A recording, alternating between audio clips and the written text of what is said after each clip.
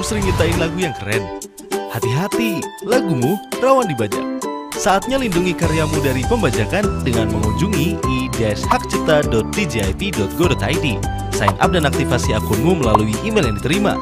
Setelah akun aktif, kamu tinggal login. Lengkapi data diri, data ciptaanmu, dan jangan lupa juga upload syarat-syarat lainnya. Setelah mendapatkan kode billing, bayar melalui m-banking, bank, ataupun ATM. Permohonanmu akan diproses kurang lebih satu hari kerja. Setelahnya, kamu akan mendapatkan sertifikat hak cipta online yang menandakan karyamu sudah tercatat dan terlindungi seumur hidup ditambah 70 tahun setelah pencipta meninggal dunia.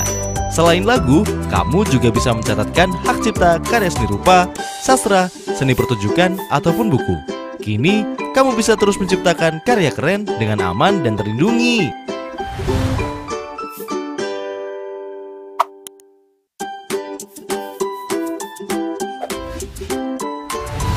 Kamu seorang pengusaha yang visioner, siap mengembangkan usaha atau membuka cabang?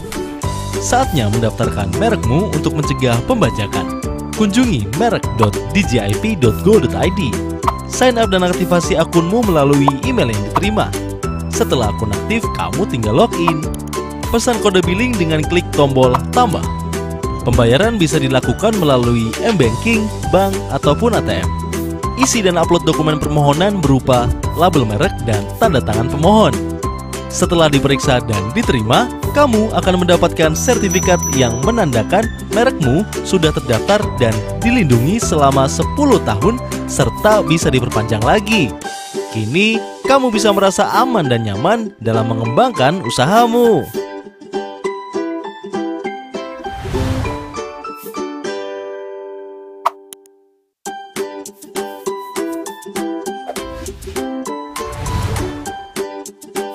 Seorang inventor dengan teknologi out of the box? Yuk patenkan penemuanmu itu untuk mencegah pembajakan. Kunjungi paten.djip.go.id. Sign up dan aktivasi akunmu melalui email yang diterima. Isi dan lampirkan dokumen permohonan berupa deskripsi invensi, abstrak, klaim, gambar invensi, dan surat pernyataan kepemilikan paten. Pembayaran bisa dilakukan melalui m-banking, bank, ataupun ATM. Setelah diperiksa dan diterima, kamu akan mendapatkan sertifikat yang menandakan patenmu sudah granted. Paten akan dilindungi selama 20 tahun, sedangkan paten sederhana akan dilindungi selama 10 tahun. Kini, kamu akan merasa lebih aman dalam mempublikasikan penemuanmu dan membuat penemuan keren selanjutnya.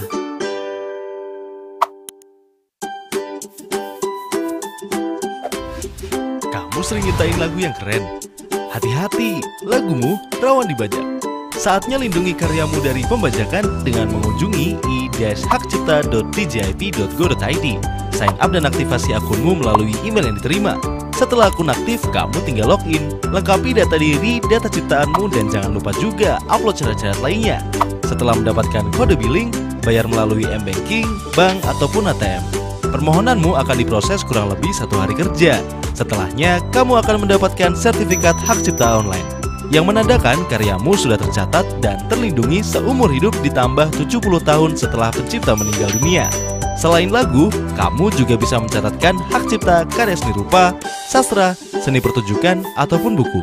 Kini, kamu bisa terus menciptakan karya keren dengan aman dan terlindungi.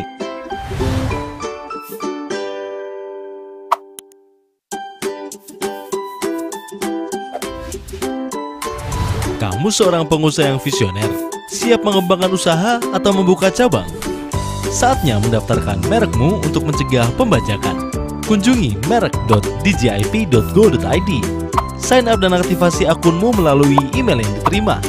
Setelah akun aktif, kamu tinggal login. Pesan kode billing dengan klik tombol tambah.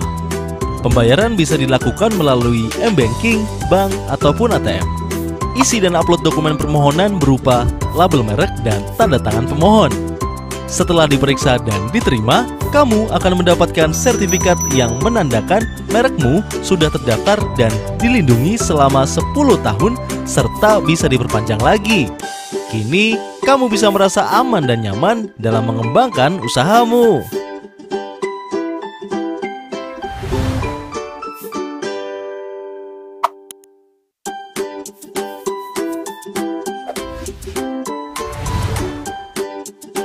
Seorang inventor dengan teknologi out of the box? Yuk patenkan penemuanmu itu untuk mencegah pembajakan. Kunjungi paten.djip.go.id Sign up dan aktivasi akunmu melalui email yang diterima. Isi dan lampirkan dokumen permohonan berupa deskripsi invensi, abstrak, klaim, gambar invensi, dan surat pernyataan kepemilikan paten. Pembayaran bisa dilakukan melalui e-banking, bank, ataupun ATM. Setelah diperiksa dan diterima, kamu akan mendapatkan sertifikat yang menandakan patenmu sudah granted. Paten akan dilindungi selama 20 tahun, sedangkan paten sederhana akan dilindungi selama 10 tahun. Kini, kamu akan merasa lebih aman dalam mempublikasikan penemuanmu dan membuat penemuan keren selanjutnya.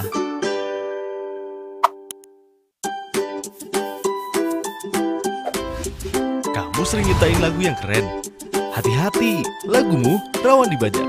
Saatnya lindungi karyamu dari pembajakan dengan mengunjungi i-hakcipta.djip.go.id Sign up dan aktivasi akunmu melalui email yang diterima. Setelah akun aktif, kamu tinggal login, lengkapi data diri, data ciptaanmu, dan jangan lupa juga upload syarat-syarat lainnya. Setelah mendapatkan kode billing, bayar melalui m-banking, bank, ataupun ATM. Permohonanmu akan diproses kurang lebih satu hari kerja. Setelahnya, kamu akan mendapatkan sertifikat hak cipta online yang menandakan karyamu sudah tercatat dan terlindungi seumur hidup ditambah 70 tahun setelah pencipta meninggal dunia. Selain lagu, kamu juga bisa mencatatkan hak cipta karya seni rupa, sastra, seni pertunjukan, ataupun buku. Kini, kamu bisa terus menciptakan karya keren dengan aman dan terlindungi.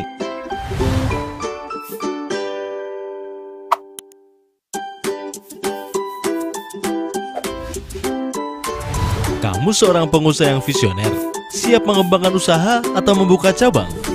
Saatnya mendaftarkan merekmu untuk mencegah pembajakan. Kunjungi merek.djip.go.id Sign up dan aktivasi akunmu melalui email yang diterima. Setelah akun aktif, kamu tinggal login. Pesan kode billing dengan klik tombol tambah. Pembayaran bisa dilakukan melalui m-banking, bank, ataupun ATM. Isi dan upload dokumen permohonan berupa label merek dan tanda tangan pemohon. Setelah diperiksa dan diterima, kamu akan mendapatkan sertifikat yang menandakan merekmu sudah terdaftar dan dilindungi selama 10 tahun serta bisa diperpanjang lagi. Kini, kamu bisa merasa aman dan nyaman dalam mengembangkan usahamu.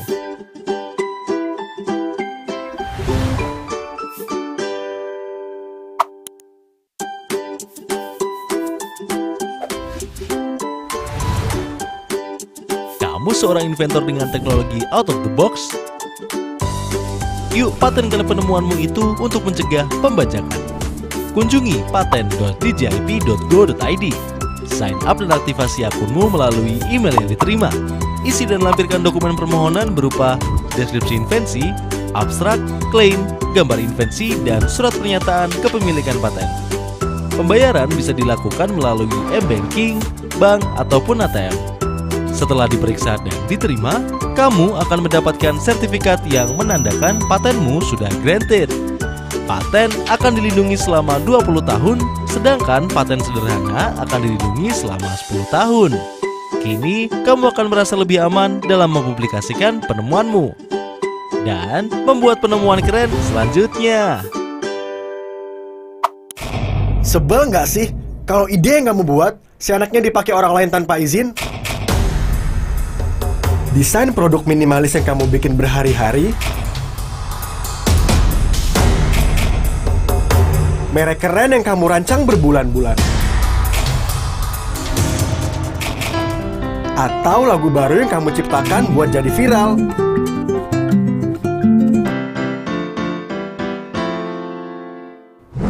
Kamu pasti nggak mau kan hal itu terjadi?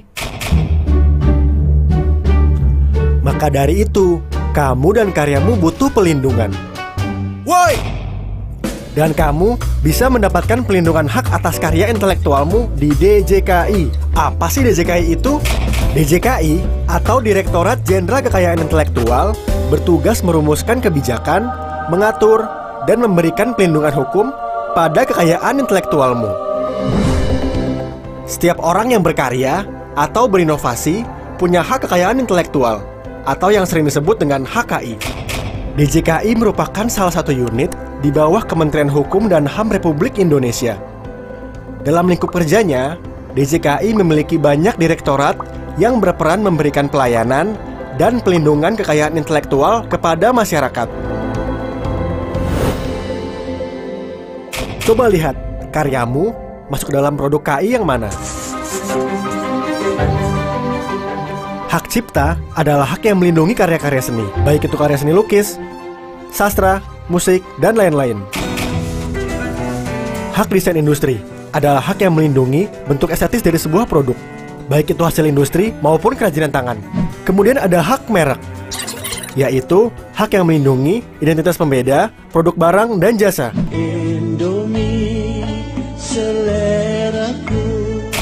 Indikasi geografis adalah suatu tanda yang menunjukkan daerah asal suatu barang atau produk, yang di mana lingkungan geografisnya memberikan karakteristik tertentu. Ini kopi Toraja. Kopi jenis ini cuma milik daerah Toraja. Kemudian ada hak paten, hak yang melindungi beragam penemuan inovasi, terutama di bidang teknologi. Contohnya, teknologi Sosro Bahu yang diciptakan oleh Insinyur Cokorda Raka Sukawati. Jadi, dengan adanya Sosro Bahu, pembuatan jalan layang tidak akan mengganggu lalu lintas di sekitarnya. Selain itu, ada hak desain tata letak sirkuit terpadu yang melindungi desain tata letak komponen-komponen aktif pada perangkat elektronik. Terakhir, ada rahasia dagang yang melindungi informasi rahasia perusahaan atau badan usaha yang tidak boleh diketahui oleh umum karena memiliki nilai ekonomi. Shh, rahasia kayak resep ayam goreng ini. Dengan dilindungi, sudah pasti kamu akan mendapatkan hak eksklusif, yaitu untuk mendapatkan hak moral dan hak ekonomi.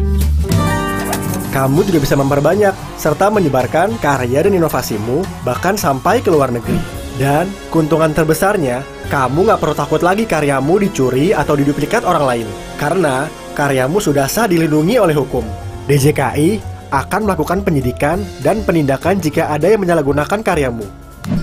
Proses pengajuannya nggak susah kok. Setelah kamu mendaftarkan karyamu, pihak DJKI akan memeriksa karyamu. Kemudian, pihak DJKI akan mengumumkan apakah karyamu telah memenuhi persyaratan. Jika disetujui, kamu akan menerima sertifikat HKI.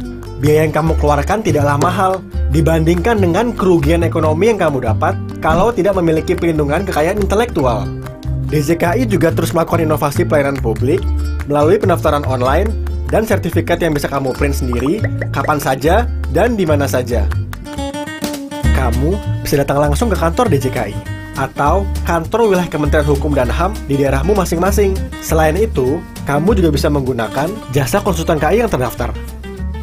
Nah, sekarang kita tanya yuk pendapat salah satu dari pendiri brand yang sudah memiliki atau mendaftarkan mereknya ke DJKI. Aku mendirikan Kopi Tuku di 1 Juni 2015. Hak kekayaan intelektual sangat penting buat aku karena dari awal sebelum aku membangun Tuku pun aku sudah mendaftarkan tiga nama sebelumnya. Cuma itu tidak bisa didaftarkan karena sudah digunakan orang. Jadi aku pengen menggunakan nama yang belum terpakai supaya segala jeripayahku yang aku lakukan bisa terjaga dengan baik ke depannya. Manfaatnya, aku merasa lebih tenang dan lebih nyaman dalam mengerjakan bisnisku sehari-hari karena segala ide dan pikiranku jadi tidak bisa dicuri oleh orang lain sehingga bisnisku akan lebih aman ke depannya. Nanti pun kalau aku berencana untuk ekspansi ke luar negeri, aku akan lebih mudah mendaftarkan merekku ini ke negara-negara yang terafiliasi dengan DJKI. Pesan aku untuk teman-teman adalah merek akan menunjukkan siapa kita di persaingan bisnis ini siapa kita di mata masyarakat. Tentu anak-anak muda sekarang sangat kreatif-kreatif, saking asiknya berkreasi, mereka lupa untuk melindungi segala ide dan pikiran mereka. Maka dari itu, jika ingin merek kita dihargai oleh orang lain, maka kita harus menghargai merek kita dengan mendaftarkan merek kita tersebut ke DJKI.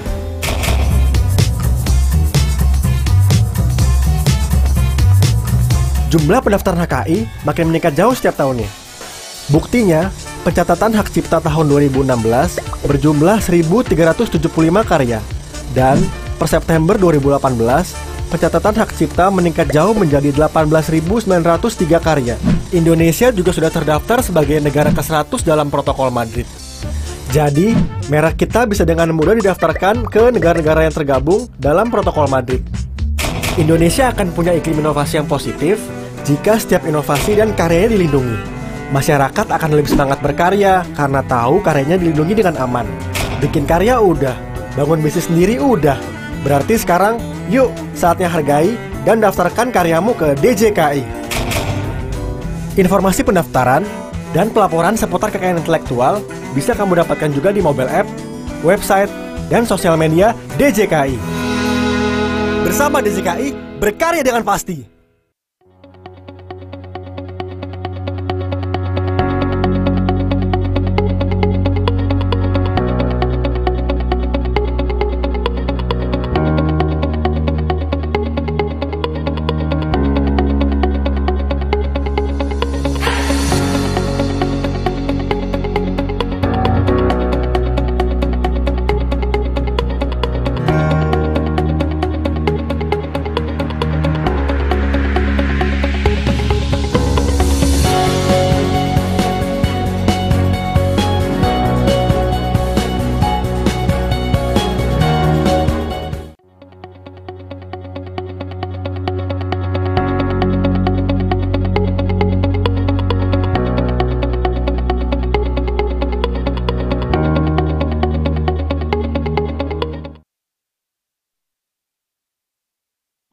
Assalamualaikum warahmatullahi wabarakatuh. Selamat pagi, salam sehat bagi kita semua.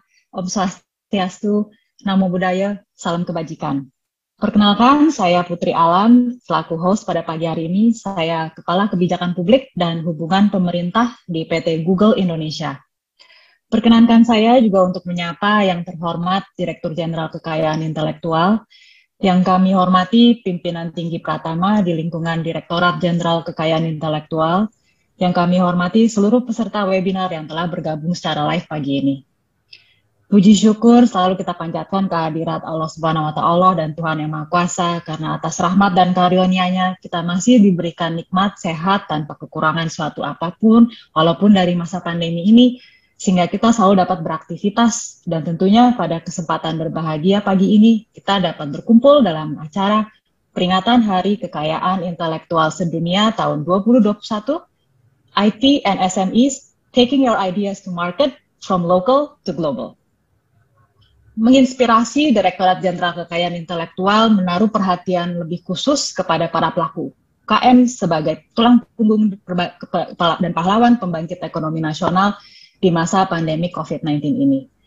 Sejumlah kemudahan sudah diberikan kepada para pelaku UKM dalam usaha meningkatkan permohonan kekayaan intelektual.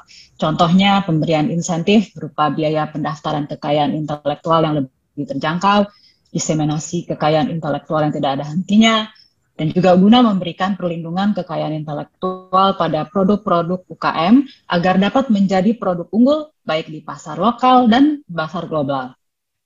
Termasuk hari ini kita mengadakan acara Think IP Webinar The Series yang diselenggarakan live streaming via Zoom dan live di channel YouTube dan akun Instagram TJKI. Webinar rangkaian ketiga pada pagi ini temanya adalah nilai ekonomi hak, hak cipta di era digital.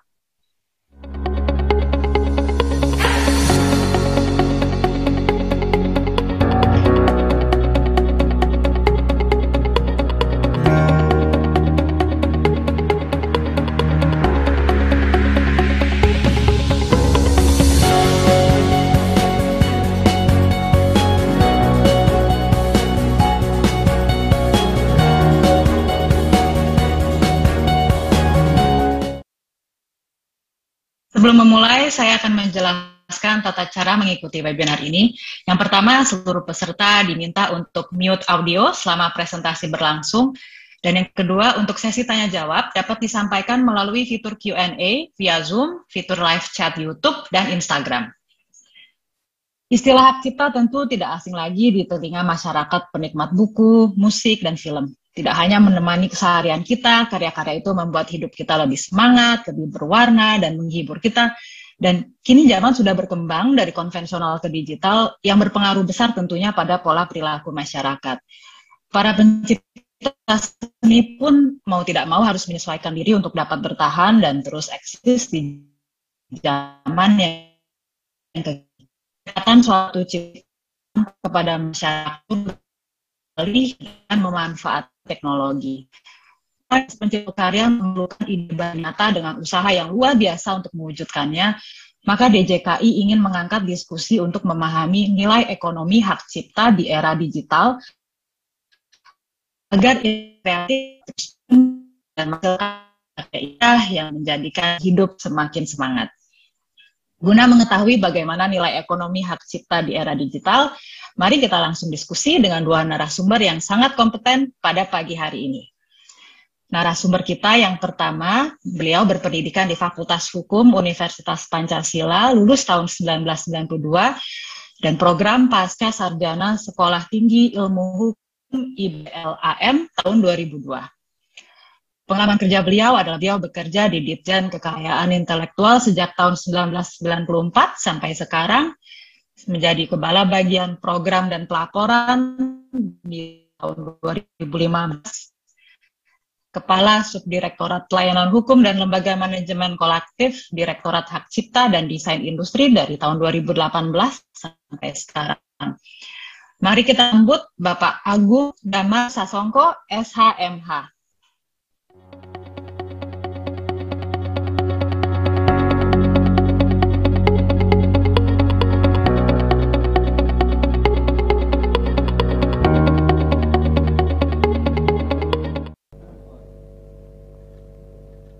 Selamat pagi Pak Agung, apa kabar? Selamat pagi Mbak Puri, baik, sehat, salam sehat. Salam sehat juga, terima kasih atas kehadirannya pagi ini. Bagaimana Pak kesibukannya sehari-hari sekarang eh, kami sambut dengan baik adanya peraturan pemerintah nomor 56 tahun ini ya Pak yang yeah. lebih eh, menjelaskan eh, yeah. manajemen lembaga kolektif dan juga pemungutan biaya royalti ya Pak. Iya betul. Pastinya pas... banyak uh, banyak pertanyaan-pertanyaan yang berkaitan dengan masalah PP 56 itu, ya. Dan betul. Pastinya tim bapak dan ya. Hmm. Iya, memang banyak sekali pertanyaan-pertanyaan yang terkait dengan PP 56 itu juga memang jadi uh, bagian dari sosialisasi kita untuk menjelaskan ke masyarakat ya terkait dengan pengelolaan royalti gitu. Ya ini memang juga apa namanya perlu dipahami oleh masyarakat ya terkait dengan pentingnya PP uh, eh, tentang pengelolaan royalti ini uh, untuk kemajuan uh, musik Indonesia ya industri musik Indonesia dan juga untuk kesejahteraan uh, pencipta pemegang hak cipta gitu ya musisi dan produser rekaman gitu. ya. Baik terima kasih banyak. Semoga nanti di presentasi bapak agak ya. menyinggung sedikit hal ini ya pak. Betul betul betul. Terima kasih Oke, izinkan saya untuk memperkenalkan narasumber kita yang kedua. Pendidikan beliau yaitu Modern School of Design Yogyakarta tahun 1997, sarjana seni pada fotografi Institut Seni Indonesia di Yogyakarta tahun 2003, Magister Seni Institut Seni Indonesia 2008, dan pengalaman kerja beliau adalah sebagai Ketua Jurusan Fotografi Institut Seni Indonesia Yogyakarta dari tahun 2016 sampai 2020 Dekan Fakultas Seni Media Rekam Institut Seni Indonesia di Yogyakarta periode 2020 dan 2024. Mari kita sambut Bapak Irwa, Dr. Irwandi MSN, Wakil Ketua Masyarakat Fotografi Indonesia dan Dekan Fakultas Seni Media Rekam Institut Seni Indonesia di Yogyakarta.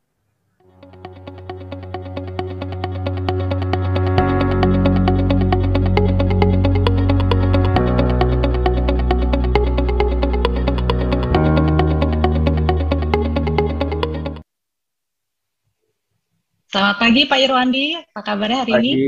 Selamat pagi Bu Putri, sehat selalu. Alhamdulillah. Terima kasih Pak kehadirannya pagi ini. Bagaimana kesibukannya sekarang? Masih ya, online semuanya Pak? Masih online, pembelajaran masih online, kemudian eh, beberapa kegiatan terbatas kita lakukan secara luring, kemudian ada tes penerimaan mahasiswa baru serta biasa kalau kampus itu sering diakreditasi oleh Kemendikbud. Begitu, okay. Mbak. Tapi semuanya online ya, sampai proses akreditasi pun pastinya sudah online juga ya, Pak ya? Online, online. Jadi kemarin eh, asesornya berada di Malang, di Surabaya, kita di Jogja mempersiapkan berkas-berkasnya. online. Wah, luar biasa. Betul. Baik, terima kasih Pak. Uh, untuk itu, tanpa lanjut kata, mari kita dengarkan presentasi pertama kami. Kami persilahkan pada Pak Agung. Silakan Pak, waktu dan tempat kami serahkan. Baik, terima kasih Mbak Putri. Uh, Assalamualaikum warahmatullahi wabarakatuh dan selamat pagi Bapak Ibu sekalian. Terima kasih uh, pada yang saya hormati Pak Irwandi juga tadi saya belum menyapa. Ya, uh, Bapak Ibu sekalian, memang tadi seperti yang disampaikan oleh uh, host kita bahwa uh, saat sekarang ini di era digital semuanya banyak uh, berubah dan kemudian juga dari uh, apa namanya seluruh eh, apa nam, uh, seluruh yang terkait dengan aktivitas kehidupan kita semua berubah menjadi uh, apa namanya dengan online dan kemudian dengan uh, penggunaan digital yang dimanfaatkan untuk pengembangan karya-karya uh, yang dihasilkan dari seorang pencipta. Ya. Jadi memang sebenarnya perubahan-perubahan ini juga mempengaruhi di dalam perkembangan dari uh, hak cipta itu sendiri dari karya-karya cipta yang dihasilkan. Baik, mungkin next. Iya. Nah, ini tadi yang seperti yang disampaikan oleh uh, Mbak Putri tadi, memang sebenarnya uh, kita bisa melihat bahwa perkembangan uh, saat sekarang ini bahwa ketika uh, teknologi itu terus berkembang dan kemudian uh, dari perkembangan teknologi ini kita juga bisa melihat bahwa ini merupakan uh, kebutuhan yang yang uh, di apa ya kebutuhan yang ada yang diinginkan oleh uh, manusia gitu ya. dan industri juga menginginkan adanya perkembangan-perkembangan teknologi yang memang dapat mendukung industri tadi dan memang ini juga akhirnya seperti tadi mempengaruhi di dalam kultur dalam kebudayaan dari uh, masyarakat yang terkait dengan perkembangan teknologi. Dan juga ini mempengaruhi di dalam uh, perdagangan. Siklus ini akan terus uh, uh, berkembang dan akan menghasilkan kreativitas-kreativitas kreativitas baru yang uh, kita bisa melihat bahwa perkembangan teknologi itu mempengaruhi di dalam uh, kreativitas yang akan dihasilkan. Dan kemudian juga kreativitas ini akan terus menghasilkan inovasi-inovasi baru yang tentunya inovasinya tentu akan berbeda. Uh, inovasi yang ketika uh, teknologi belum begitu banyak berkembang dengan sekarang dengan teknologi yang sudah mulai berkembang dengan semakin pesatnya itu kreativitas dan inovasi juga akan mungkin uh, akan terus uh, berbeda. Nah, di sini kita juga bisa melihat bahwa di dalam perkembangan yang terjadi dengan hak cipta, karena kita pembahasannya berkaitan dengan hak cipta, jadi uh, bagaimana karya-karya tadi uh, berkembang ya dengan uh, menggunakan teknologi-teknologi yang ada saat sekarang ini. Dan ini kan juga dan ini juga akan berkaitan dengan hak dari uh, hak dari pencipta itu sendiri. Artinya ada hak-hak ekonominya dan kemudian bagaimana pemanfaatan hak ekonomi atas karya cipta tadi ini juga akan mempengaruhi di dalam uh, implementasinya di dalam perkembangan teknologi ini. Ya, next. Nah, ini kita bisa melihat bahwa salah satunya saja yang kita bisa melihat di dalam perkembangan uh, digital saat sekarang ini. Uh, kita lihat bahwa di dalam era digital ini uh, konten yang disajikan ke masyarakat itu lebih uh, banyak yang terkait dengan bidang hak cipta. Ya, artinya ada ada musik, ada film, terus kemudian ada karya-karya uh, literasi ya seperti buku, kemudian ada apa namanya eh, karya-karya yang apa uh, yang bisa di, disampaikan ke masyarakat gitu ya. Ada ada fotografi kemudian ada karya pertunjukan dan uh, apa namanya video atau sinematografi yang terkait dengan ilmu pengetahuan. Semua berkaitan dengan konten-konten yang disajikan ke masyarakat. Nah uh, di satu sisi memang nilai ekonomi dari karya digital ini uh, karya cipta di karya digital ini memang sangat uh, memudahkan untuk pencipta. Jadi kalau dulu uh, kalau kita berbicara sebelum maraknya era digital ini, kita bisa melihat bahwa uh, ketika seseorang pencipta lagu kemudian akan uh, merekam hasil karya ciptanya, tentunya dia masih membutuhkan yang namanya uh, studio rekaman. Nah, kemudian kalau sekarang ini uh, budayanya berbeda sekarang ini. Artinya sekarang para pencipta ketika dia sudah me menciptakan satu karya cipta, kemudian dia menyanyikan sendiri, dia tidak perlu datang ke studio rekaman, tapi dia cukup dengan uh, memiliki home studios, gitu ya. Ini bisa kita lihat bahwa ini yang terjadi saat sekarang ini, dan kita bisa melihat bahwa uh, kalaupun ada produser rekaman, mereka juga akan uh, yang sekarang masih ada produser-produser rekaman yang menghasilkan karya-karya rekaman tadi, mereka juga akan lebih mudah uh, mendistribusikan atau mempromosikan karya-karya cipta lagu tadi itu melalui uh, digital sebagaimana kita bisa lihat umpamanya banyak aplikasi-aplikasi yang menyediakan eh, konten-konten uh, lagu dan konten-konten film gitu ya yang disajikan dan dapat diakses langsung oleh uh, para uh, pengguna gitu ya. Nah, ini merupakan bentuk yang kita bisa melihat adanya perubahan-perubahan. Sekarang orang mungkin uh, sudah uh, menjadi alternatif dari alternatif lain adalah ketika di rumahnya ada uh, TV yang bisa mengakses Eh, film-film uh, yang betul-betul uh, bisa ditonton di rumah. Jadi orang mungkin agak sedikit enggan mungkin ke uh, ke bioskop gitu gedung bioskop ya.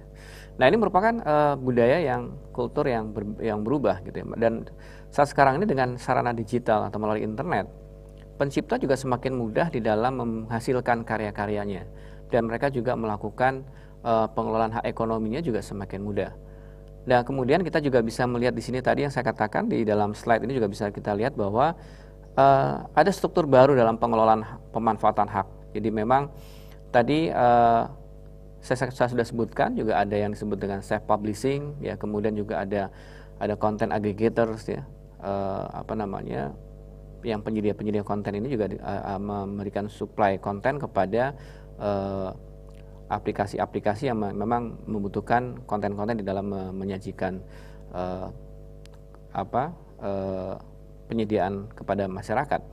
Nah, kemudian juga di dalam penyajian dari uh, penyebaran informasi ciptaan tadi melalui era digital tadi, dan kita juga bisa melihat ada manfaat ekonomi yang dihasilkan oleh uh, pencipta.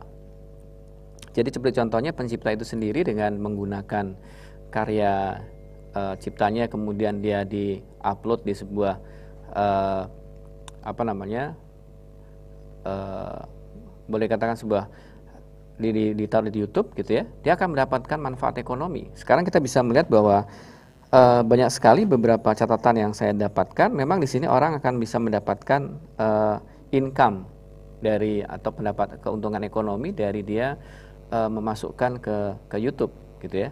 Seperti contohnya dia eh, rata-rata pembayaran YouTube itu antara 0,01 dolar dan 0,03 dolar untuk tampilan iklan dan kemudian YouTuber itu bisa menghasilkan 18 dolar per 1000 tampilan iklan yang menghasilkan 3 dolar hingga 5 dolar per 1000 tampilan video. Ini sangat menjanjikan. Jadi sekarang kita bisa melihat bahwa banyak orang-orang yang membuat uh, menjadi YouTuber-YouTuber dan kemudian mereka bisa mendapatkan uh, manfaat ekonomi.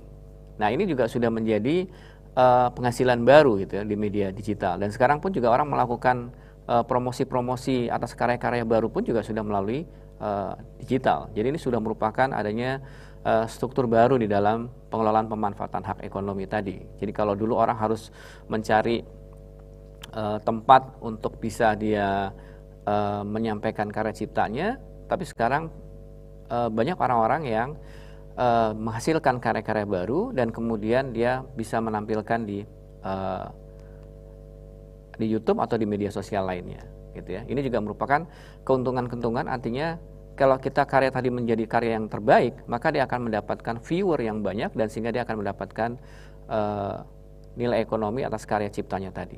Ya, next. Nah, ini juga kita bisa melihat bahwa saat sekarang ini juga banyak uh, dalam perkembangan digital ini juga adanya artificial intelligence. Jadi memang uh, dengan adanya artificial intelligence atau AI ini uh, banyak eh, aplikasi-aplikasi uh, yang dapat mendukung di dalam uh, pengembangan sebuah karya cipta, gitu ya. Dan memang di sini juga kita banyak bahwa uh, bahwa bahkan dalam Google DeepMind itu juga bisa uh, menghasilkan musik dengan mendengarkan rekaman gitu kan ini ini ini satu-satu perkembangan artinya sekarang orang ketika ingin membuat musik gitu ya dia tidak perlu datang ke studio rekaman dengan memanggil beberapa teman-temannya untuk memainkan alat musik ketika dia sudah membuat sebuah uh, notasi musik kemudian dia bisa uh, menggunakan aplikasi yang dia miliki dan kemudian dia bisa tinggal nyanyi saja. Ini merupakan perkembangan teknologi. Artinya ada ada budaya yang berubah yang kita bisa melihat di dalam perkembangan dalam era digital ini. Nah, memang uh, ada yang hal yang menarik adalah ketika uh, tadi kita ketika pada perkembangan teknologi yang begitu meningkat, ya, ada perkembangan teknologi yang uh, digunakan dalam sebuah karya cipta maka pertanyaannya adalah bagaimana dengan uh, hak atas karya cipta tadi, gitu ya. Yang di awal tadi saya sudah katakan bahwa di situ ketika teknologi berkembang, ada inovasi dan kemudian uh, ada kreativitas yang dihasilkan dan kemudian akan ada persinggungan bagaimana masalah hak. Jadi seperti contohnya sekarang uh, ketika saya uh, apa namanya membuat sebuah karya ya membuat karya. Katakanlah seorang arsitektur, dia membuat karya arsitektur dengan uh, sebelum dengan teknologi dia menggunakan gambar sendiri, kemudian itu dikatakan sebagai uh, karyanya dia. Nah, bagaimana ketika uh, seorang arsitektur ketika dia uh, menggunakan aplikasi kemudian dia memasukkan clue-nya ketika dia membuat gambar rumah itu dia ada membuat clue-nya di situ uh, kamar berapa uh, kamar mandinya berapa dan kemudian bagaimana tamannya disebut, disebut dimasukkan di dalam uh, aplikasi tersebut dan kemudian berapa menit kemudian keluar hasilnya. Maka hasil yang tadi milik uh, apakah bisa dikatakan ciptaan si A ataukah hasil komputer? Ini ini perkembangan-perkembangan teknologi juga menjadi uh, ada keterkaitannya dengan masalah hak tadi. Gitu. Ya next. Nah, ini kita bisa melihat bahwa uh, sebagian besar negara melihat bahwa uh, karya cipta yang uh, disebut sebagai hak cipta itu adalah yang dihasilkan oleh uh, manusia. Jadi artinya memang secara murni adalah dia uh, dihasilkan oleh uh, manusia. Nah, seperti contohnya uh, ada aplikasi di uh, handphone itu ada aplikasi dengan disebut dengan HumeOn itu kita ketika kita bergum, bergumam saja sambil uh, bergumam melafalkan sebuah notasi lagu, terus kemudian direkam di dalam aplikasi itu, kemudian uh, aplikasi tersebut uh, mengenerate, ya, kemudian kita pilih kita mau pilih genre musiknya apa, dan kemudian aplikasi tadi mengenerate dan menghasilkan sebuah karya rekaman dengan musik yang yang indah. Nah pertanyaannya itu tadi hasil karya cipta saya ataukah karya cipta de, apa hasil dari komputer. Nah ini yang yang menarik dalam di dalam perkembangan digital. Artinya di satu sisi manusia bisa mendapatkan manfaat dari karya cipta tadi dan di lain pihak juga kita bisa melihat bahwa ada uh, kreatif dengan menggunakan komputer yang dengan uh, mes, apa uh, dengan mesin cerdas ini bisa menghasilkan beberapa karya-karya cipta yang yang sebelumnya tidak terpikirkan oleh manusia. Nah, ini yang yang yang menarik di beberapa negara juga membahas masalah ini. Jadi bahwa memang sebenarnya sementara ini yang bisa kita lihat adalah yang dihasilkan oleh manusia tadi adalah yang merupakan e, karya ciptanya. Jadi kalau mamanya bicara aplikasi ya berarti yang membuat aplikasi tadi lah pencipta atas aplikasi tersebut. Ini masih uh, bahan diskusi yang yang terkait di di WIPO sendiri, di World Intellectual Property Organization sendiri juga masih membahas mengenai hal-hal seperti ini. Ya, next.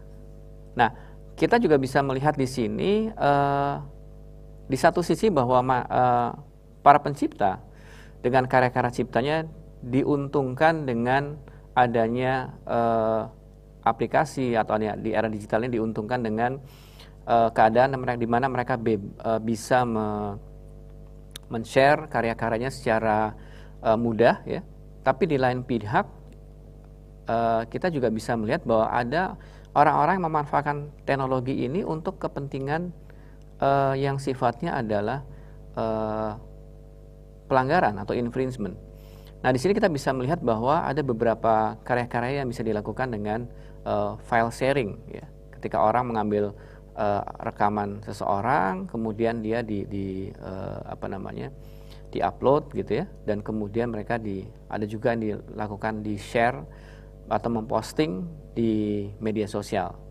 Nah ini juga banyak sekali terjadi hal-hal yang konten konten-konten yang sebetulnya bukan uh, apa tidak mendapatkan izin, kemudian itu disampaikan kepada masyarakat dengan menggunakan cara-cara yang uh, dengan digital yang orang dapat mengaksesnya, yang sebetulnya tanpa uh, izin. Nah ini juga bisa kita melihat bahwa perkembangan ini juga menjadi hal yang sangat apa menarik di satu sisi pencipta mendapatkan keuntungan dari manfaat ekonomi dari apa yang disampaikan yang di, yang dihasilkan dengan dengan menggunakan digital dengan sangat mudahnya di lain pihak juga ada orang-orang yang memang memanfaatkan teknologi untuk uh, mendistribusikan hasil-hasil pelanggaran nah ini persoalan-persoalan yang yang muncul uh, dewasa ini yang terkait dengan masalah uh, pelanggaran tadi. Pelanggaran pelanggaran hak cipta ini tidak hanya sekedar hak ekonominya saja, tapi juga ada hak moral. Ada beberapa lagu-lagu yang yang di apa uh, dimutilasi gitu ya, dipotong-potong, kemudian dijadikan satu dan kemudian dijadikan lucu-lucuan gitu ya, dan kemudian itu disam, uh, di, didistribusikan di beberapa aplikasi dan juga di media sosial. Nah, ini yang uh, kita bisa melihat bahwa uh, persoalan ini menjadi persoalan yang uh, perlu jadi perhatian kita semua dan juga memang di, di, di seluruh dunia juga di beberapa di semua negara ini juga menjadi perhatian untuk memberikan perlindungan bagaimana memberikan perlindungan pada uh, para pencipta. Ya, next. next, Pak. Nah, uh, memang dalam dampak teknologi dan inovasi, kita di sini bisa melihat bahwa uh, di dalam perkembangan teknologi di sini adanya perlu uh, mengevaluasi kembali tentang uh, pembatasan pengecualian pada hak cipta. Jadi kalau umpamanya uh, di dalam pembatasan pengecualian dulu di dalam undang-undang hak cipta di dalam uh, yang sekarang ini berlaku bahwa ada pengecualian untuk kepentingan pendidikan, untuk kepentingan uh, negara itu bisa dikecualikan, gitu ya. Nah, tapi uh, di sini perlu adanya perumusan-perumusan baru atau norma-norma baru di dalam pengelolaan hak yang terkait dengan masalah digital. Yang artinya tentunya uh, perlu mendefinisikan ulang yang terkait dengan perlindungan hak cipta dan hak terkait. Nah, ini yang uh, bisa kita lihat bahwa perkemb dari perkembangan teknologi tadi yang perlu di dikembangkan. Ya, next. Nah, ini kita bisa melihat bahwa ada tiga pilar sistem hak cipta. Itu ada regulasi, di mana peranan pemerintah di dalam melihat permasalahan-permasalahan yang terdapat di dalam uh, perkembangan saat sekarang ini itu bisa harus merespon dan membuat peraturan-peraturan yang menjamin hak dari pencipta dan pemilik hak terkait ya dalam hal ini musisi, produser rekaman dan uh, TV uh, apa lembaga penyiaran ya untuk memberikan perlindungan atas karya-karya yang dihasilkan. Dan tentunya setelah adanya regulasi yang memadai, tentunya di sini adanya uh, penegakan hak ya. Artinya ada uh, penegakan hak atas penanggulangan dari pelanggaran-pelanggaran yang bisa dikatakan semakin marak dengan adanya uh, digital tadi di satu sisi memang menguntungkan pencipta atau pemegang hak dalam mendistribusikan karya ciptanya tapi di lain sisi juga ada pelanggaran-pelanggaran yang memang uh, terjadi dan ini harus diantisipasi dalam penegakan hukumnya dan tentunya setelah uh, kedua hal ini uh, secara seimbang ada tentunya dari uh, para pencipta itu juga harus ada namanya pengelolaan hak yang terkait dengan komersialisasi tadi, bagaimana cara memanage dan uh, secara profesional terkait dengan pengelolaan hak atas karya uh, cipta tersebut. Nah ini tiga hal yang menjadi dasar di dalam uh, apa dalam melihat bagaimana uh, mengantisipasi permasalahan-permasalahan yang terkait dengan uh, digital saat sekarang ini. Next. Nah, kalau kita lihat di dalam Undang-Undang Cipta sekarang ini, uh, kita sudah meratifikasi treaty, inter treaty internasional yang tentunya juga ada di dalamnya terkait dengan bagaimana perlindungan hak cipta uh, secara digital atau dengan internet ya. Nah, ini kita bisa melihat bahwa beberapa konvensi yang sudah kita uh, ratifikasi, tentunya di sini ada konvensi Bern dan kemudian ada uh, persetujuan TRIPS, ada uh, WCT, WIPO Cooperate Treaty dan kemudian ada WPPT dan kemudian ada Audiovisual Performance Treaty atau Beijing Treaty dan kemudian ada uh, Marrakesh Treaty. Marrakesh Treaty ini sebenarnya uh, ketentuan yang untuk uh, apa membebaskan uh, mem, meng, apa kalangan disabilitas netra itu bebas untuk mengakses karya cipta apa pun ya untuk kepentingan uh, mereka. Jadi mereka bisa me, me, merubah format dari karya tulis biasa menjadi uh, karya dalam dalam dalam bentuk braille atau talking uh, book gitu ya. Ini untuk kepentingan mereka. Ya, next. Nah, kita bisa melihat di sini bahwa bagaimana kondisi yang uh, bagaimana ketentuan yang yang diatur di dalam Undang-Undang Hak Cipta kita, Undang-Undang Nomor 28 tahun 2014, 2014. Uh, kita bisa melihat bahwa di sini uh, perlindungan hak cipta itu bersifat otomatis. Jadi ketika pertama kali dipublikasikan, maka dia uh, harus dilindungi.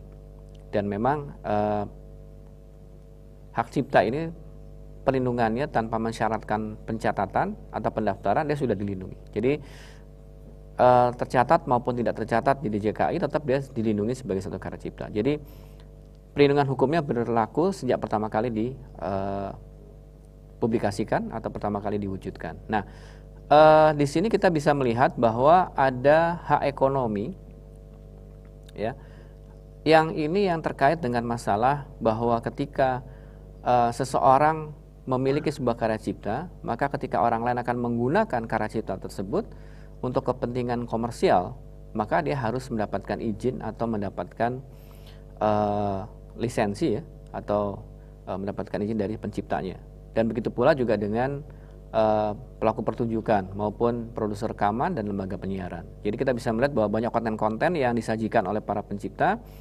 kemudian ini dikopi dan dimasukkan ke sebuah aplikasi yang uh, dimiliki oleh uh, sebuah uh, seseorang gitu ya. Nah ini juga harus minta izin ketika aplikasi ini digunakan untuk kepentingan yang sifatnya komersial gitu ya. Atau mungkin juga ada gambar-gambar atau foto yang di-download kemudian gambar-gambar ini digunakan untuk kepentingan komersial. Nah ini juga merupakan hal-hal yang harus diperhatikan bahwa ini sangat uh, uh, apa namanya sangat penting di dalam melakukan uh, penggunaannya tadi harus minta izin atau paling tidak ada pemberitahuan bahwa itu akan digunakan dan tentunya di sini kalau sudah ada apa uh, minta izin tadi tentunya harus ada kompensasi atau merupakan royalti yang harus dibayarkan. Nah, kemudian juga di dalam Undang Hak Cipta ini juga di, uh, ada ketentuan yang terkait dengan uh, sarana kontrol teknologi. Ini yang terkait dengan apa? Ada ketika ada satu software yang bisa di-download di uh, dari apa namanya dari uh, internet gitu ya, dari satu uh, situs dan kemudian di situ ketika uh, di download tentunya dia minta akan minta uh, apa uh, password atau mungkin ada keyword yang harus dia uh, masukkan setelah dia membayar. Nah kemudian ketika uh, dia merusak sarana kontrol teknologi sehingga dia bisa mendistribusikan lagi kepada orang lain. Jadi sebenarnya banyak aplikasi yang hanya bisa digunakan untuk kepentingan pribadi ya. Seperti contohnya kalau kita memiliki aplikasi Spotify ya atau Deezer gitu ya itu kan hanya untuk kepentingan kita saja ya tapi kemudian uh, ketika ini saya buka sarana kontrol teknologinya dan saya bisa uh, aplikasi ini bisa digunakan oleh pihak lain tanpa harus membayar uh, langganan setiap bulannya. Ini sudah merupakan merusak sarana kontrol teknologi. Ini ini uh, ketentuan hukum secara internasional yang sudah juga diakomodasi dalam undang-undang cipta kita. Dan kemudian juga ada informasi manajemen hak cipta atau right management information. Ini me, berkaitan dengan informasi terkait dengan siapa penciptanya dan e, bagaimana karya itu dihasilkan.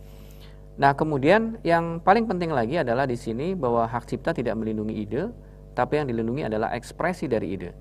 Jadi bisa saja seseorang punya ide yang sama ketika membuat sebuah konten, e, tapi kemudian dia menyajikannya dengan ekspresi yang berbeda, dengan tampilan yang berbeda. Jadi kita juga bisa melihat di YouTube itu banyak orang-orang yang memiliki ide yang sama dalam menyajikan sebuah uh, konten, tapi eh, masing-masing memiliki ekspresi yang berbeda. Jadi yang dilindungi hak cipta adalah ekspresinya, bagaimana dia menyajikan tampilan dari sebuah uh, karya tersebut sehingga uh, ini menjadi satu hasil kreasi dari seseorang. Ya. Jadi tidak dilindungi yang dilindungi adalah ekspresinya.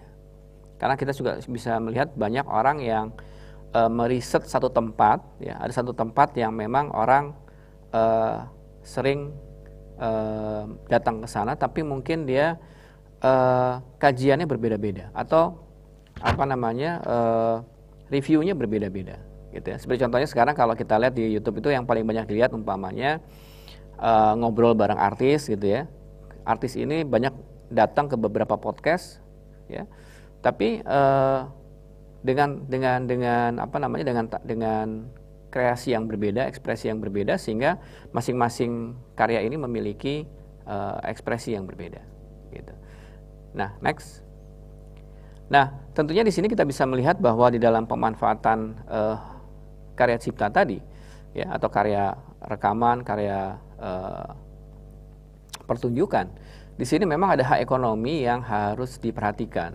Jadi uh, saat sekarang ini kalau kita melihat penggunaan uh, secara komersial atau non komersial semua uh, layanan digital ini lebih banyak kepada komersial. Bahkan media sosial pun sekarang bisa uh, melihat adanya uh, penggunaan secara komersial. Kita bisa melihat bahwa keuntungan ekonomi didasarkan pada komersial scale pada skala komersial uh, berapa uh, dia berapa viewer yang bisa di uh, hasilkan dari konten itu dan kemudian dia akan mendapatkan manfaat ekonomi. Nah, kita bisa melihat di sini bahwa pemanfaatan-pemanfaatan hak ini juga kita harus melihat bahwa adanya uh, penggunaan atau pemanfaatan dari karya cipta orang lain yang yang harus uh, dihargai gitu ya. Jadi ketika orang menggunakan karya orang lain tersebut, maka dia harus me, uh, memberikan apresiasi dengan dengan meminta izin dan kemudian memberikan uh, pembayaran royalti. Dan tentunya di sini dalam melakukan komersialisasi tadi uh, tentunya harus ada uh, pembayaran royalti kepada pencipta orang yang me memiliki karya cipta tersebut. Dan kemudian di sini juga di dalam undang-undang hak cipta juga ada yang uh, ketentuan yang menyatakan bahwa adanya penarikan royalti oleh lembaga manajemen kolektif nasional untuk bidang musik ya dan lembaga manajemen kolektif untuk bidang yang uh, non musik gitu. Ya. Nah ini bisa kita melihat bahwa ada hal-hal yang kita lihat di sana bahwa uh, dalam penggunaan secara komersial itu adanya pemanfaatan yang digunakan oleh pihak lain untuk mendapatkan keuntungan ekonomi.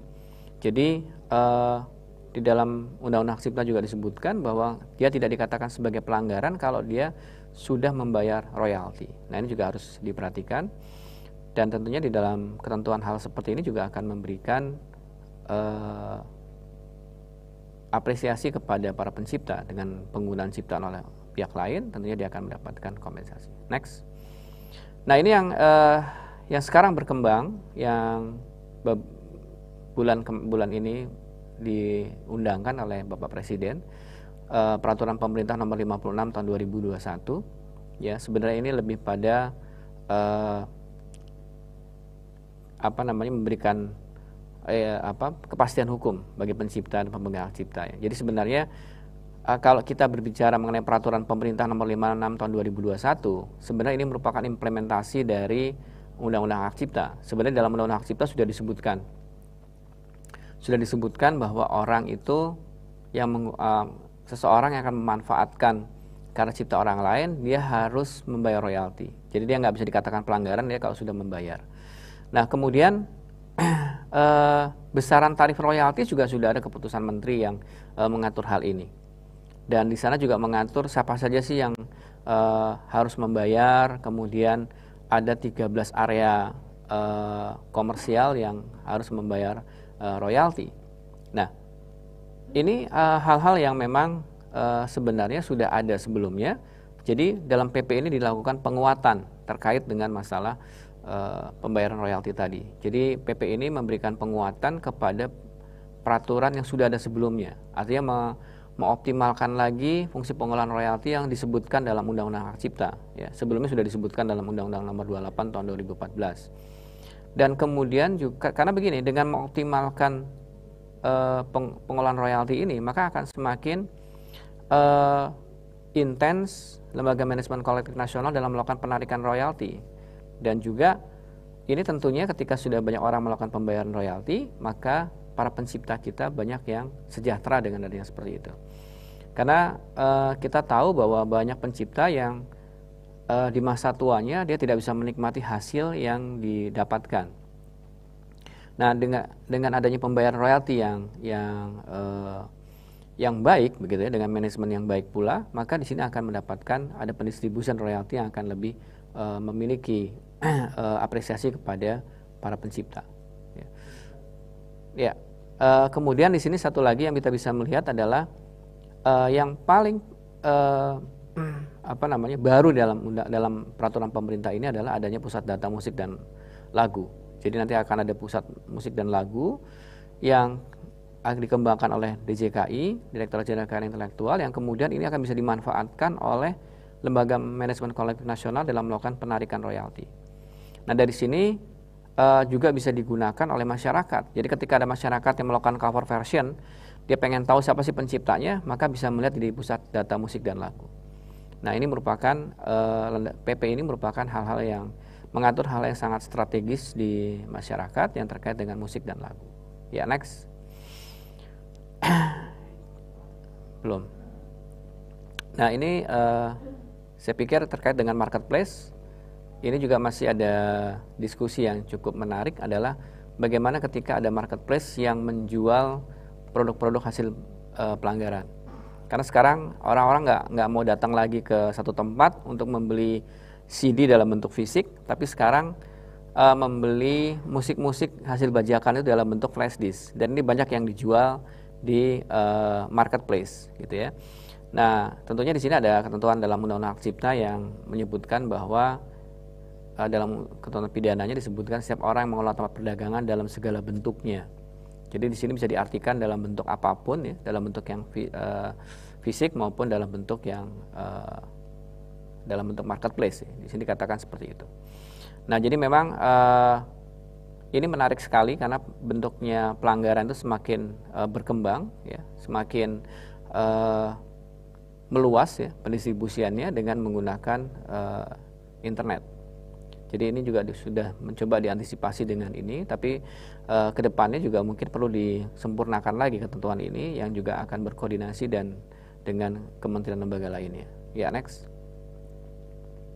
Ya, jadi sebenarnya uh, ketika beberapa waktu yang lalu ada pihak-pihak yang merasa ketakutan kayak kalau cover version itu nggak boleh segala macam. Ya, sebenarnya dalam Undang-Undang Hak Cipta sudah menjelaskan bahwa uh, silakan saja menggunakan karya orang lain, tapi e, paling tidak harus izin dan kemudian ada e, apa namanya pembayaran royalti gitu. Dan sanksi pidana itu bukan merupakan segala-galanya. Tetap dalam Undang-Undang Hak Cipta, ketika terjadi sengketa ya harus paling tidak harus ada menempuh jalur e, penyelesaian melalui mediasi lebih dulu. Jadi artinya harus harus ada mediasi terlebih dahulu sebelum dilakukan tuntutan pidana. Atau dia membayar royalti dulu dan kemudian atau ada minta izin kepada para penciptanya. Jadi eh, kekhawatiran-kekhawatiran dari eh, para kreator ini tidak perlu dikhawatirkan karena yang jelas bahwa ini merupakan pidana itu bukan merupakan segala-galanya tapi dia eh, ada mekanisme yang bisa dilakukan yaitu dengan adanya mediasi lalu kemudian adanya uh, apa namanya permintaan izin dan kemudian tidak diguna apa penggunaan yang uh, pembayaran royalti dengan membayar kepada lembaga manajemen kolektif nasional untuk musik gitu ya. Ya, next. Nah, ini juga ada ketentuan yang terkait dengan mekanisme yang uh, ada dalam undang-undang. Jadi seorang pencipta ketika dia menemukan ada konten-konten yang ada di di aplikasi atau di situs internet yang menyajikan uh, karya ciptanya tanpa izin tentunya bisa dilakukan uh, pelaporan ke Dijen KI dan Dijen KI nanti setelah verifikasi benar itu ada pelanggaran maka akan uh, memberikan rekomendasi kepada Kementerian uh, Kominfo untuk uh, melakukan uh, pemblokiran situs di internet. Nah ini sudah di, sampai sejauh ini mungkin sudah hampir uh, 800-an lebih mungkin 900-an lebih situs yang ditutup ya di di blog gitu ya yang terkait dengan uh, penyediaan konten-konten uh, pelanggaran hak cipta seperti contohnya ada konten uh, film yang yang hasil pelanggaran, kemudian ada uh, apa namanya musik dan sebagainya. Ya, jadi ini yang uh, kita bisa apa lihat bahwa undang-undang hak cipta ini sendiri juga uh, apa dilakukan uh, memberikan solusi kepada para pencipta dan pemegang hak ya terkait dengan bentuk-bentuk pelanggaran di internet. Next. Ya, uh, jadi memang kita bisa melihat bahwa saat sekarang ini Direktorat Jenderal Kekayaan Intelektual tetap merespon dan me, apa, melihat perkembangan-perkembangan digital. Dan saat sekarang ini juga kita bisa melihat tadi di dalam uh, slide saya yang sebelumnya bahwa PP 56 tahun 2021 ini juga merupakan uh, bentuk uh, apresiasi pemerintah kepada para pencipta uh, dan pemegang hak di bidang musik di dalam uh, melihat adanya pelanggaran-pelanggaran uh, yang terjadi di dunia internet sekarang ini. Nah ini merupakan antisipasi dan sekarang ini juga kita sedang menyiapkan rancangan peraturan pemerintah lainnya yang terkait dengan uh, dengan permasalahan-permasalahan digital di dalam bidang musik dan lagu yang belum terantisipasi di dalam PP tersebut. Ya. Jadi banyak sekali hal-hal uh, yang memang berkembang dan ini perlu di uh, apa namanya uh, diberikan uh, ketentuan hukumnya gitu ya, sehingga bisa menjadikan kepastian kepada masyarakat. Dan kita juga bisa melihat bahwa uh, perkembangan ini menjadi terus berkembang dan perkembangan digital juga semakin meningkat dan kebutuhan akan perlindungan atas uh, sistem hukum cipta itu juga menjadi sangat uh, penting untuk memberikan kepastian hukum kepada pencipta, pada pemegang hak sehingga mereka dapat terlindungi dengan baik dan tentunya di sini pemerintah akan terus me memberikan uh, respon terhadap hal seperti ini dengan me mengembangkan atau membuat peraturan-peraturan yang uh, baru mengenai hal itu. Saya pikir itu dulu yang saya sampaikan, nanti akan bisa lebih diskusi lagi terkait dengan ini. Terima kasih. Assalamualaikum warahmatullahi wabarakatuh.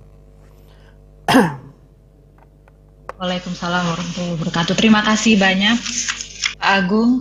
Um, izin tadi saya mau merangkum lebih uh, lagi gitu ya. Jadi tadi memang di paparannya Pak Agung mengatakan bahwa teknologi digital itu keuntungannya memang sudah tidak bisa dipungkiri lagi uh, apalagi untuk uh, mempercepat inovasi, mempercepat kreativitas baru, mempermudah proses penciptaan, mempermudah proses penyebaran, promosi, dan pengelolaan hak ekonomi.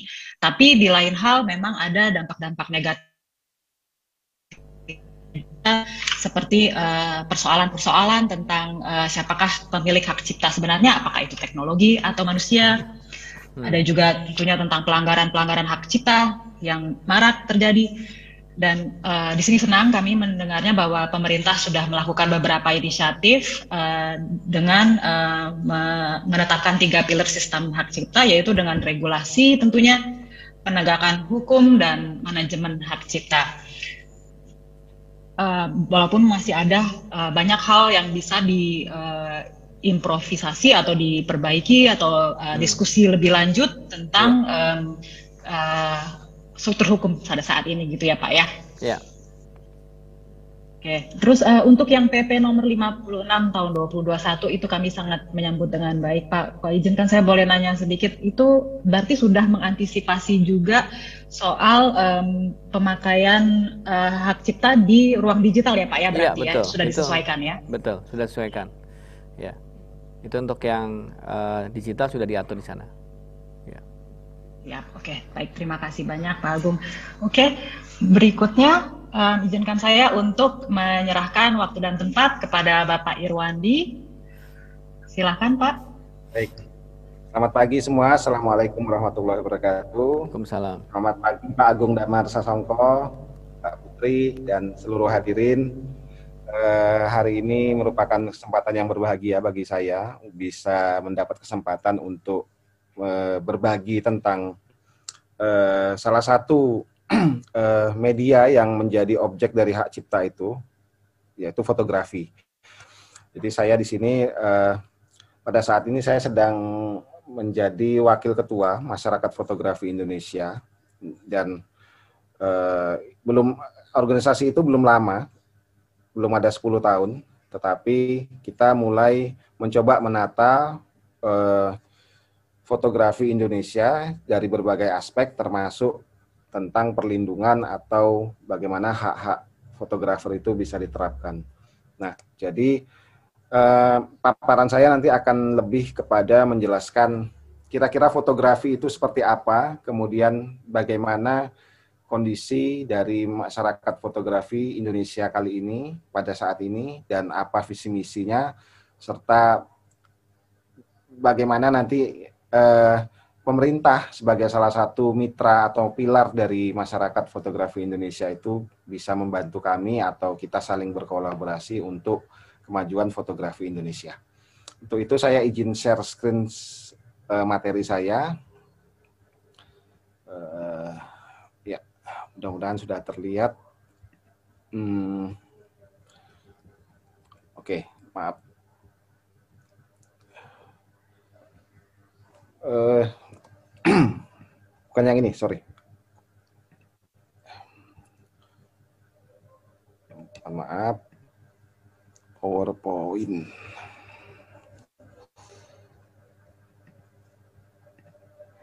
Nah, mudah-mudahan sudah terlihat. Sudah terlihat ya Mbak Putri? Sudah Pak, jelas. Terima kasih. Ya. Jadi, eh, izin dalam beberapa menit ini untuk memaparkan tentang fotografi dan perkembangannya di hari ini. Jadi secara harfiah memang fotografi itu melibatkan cahaya, yaitu fotos dan grafos, dan sudah ditemukan lama sekali. Nah sekarang dulu fotografi berbasis kimia, analog, dan sekarang sudah masuk ke ranah digital sejak 2000-an. Sehingga dampak-dampak fotografi atau digitalisasi fotografi itu turut kita rasakan sebagaimana yang dipaparkan oleh Pak Agung Damar tadi tentang bagaimana musik kemudian e, pertunjukan film dan lain sebagainya ketika dia masuk dalam ranah digital maka muncul berbagai problematika. Ya. Nah, ini revolusi fotografi. Dulu fotografi sangat analog sekali, kameranya dari kayu dibuat sendiri, kemudian masuk pada industrialisasi, kemudian masuk digital, lalu digital yang lebih masif lagi, di mana hampir sekarang semua orang memegang kamera. Nah, dengan dengan apa?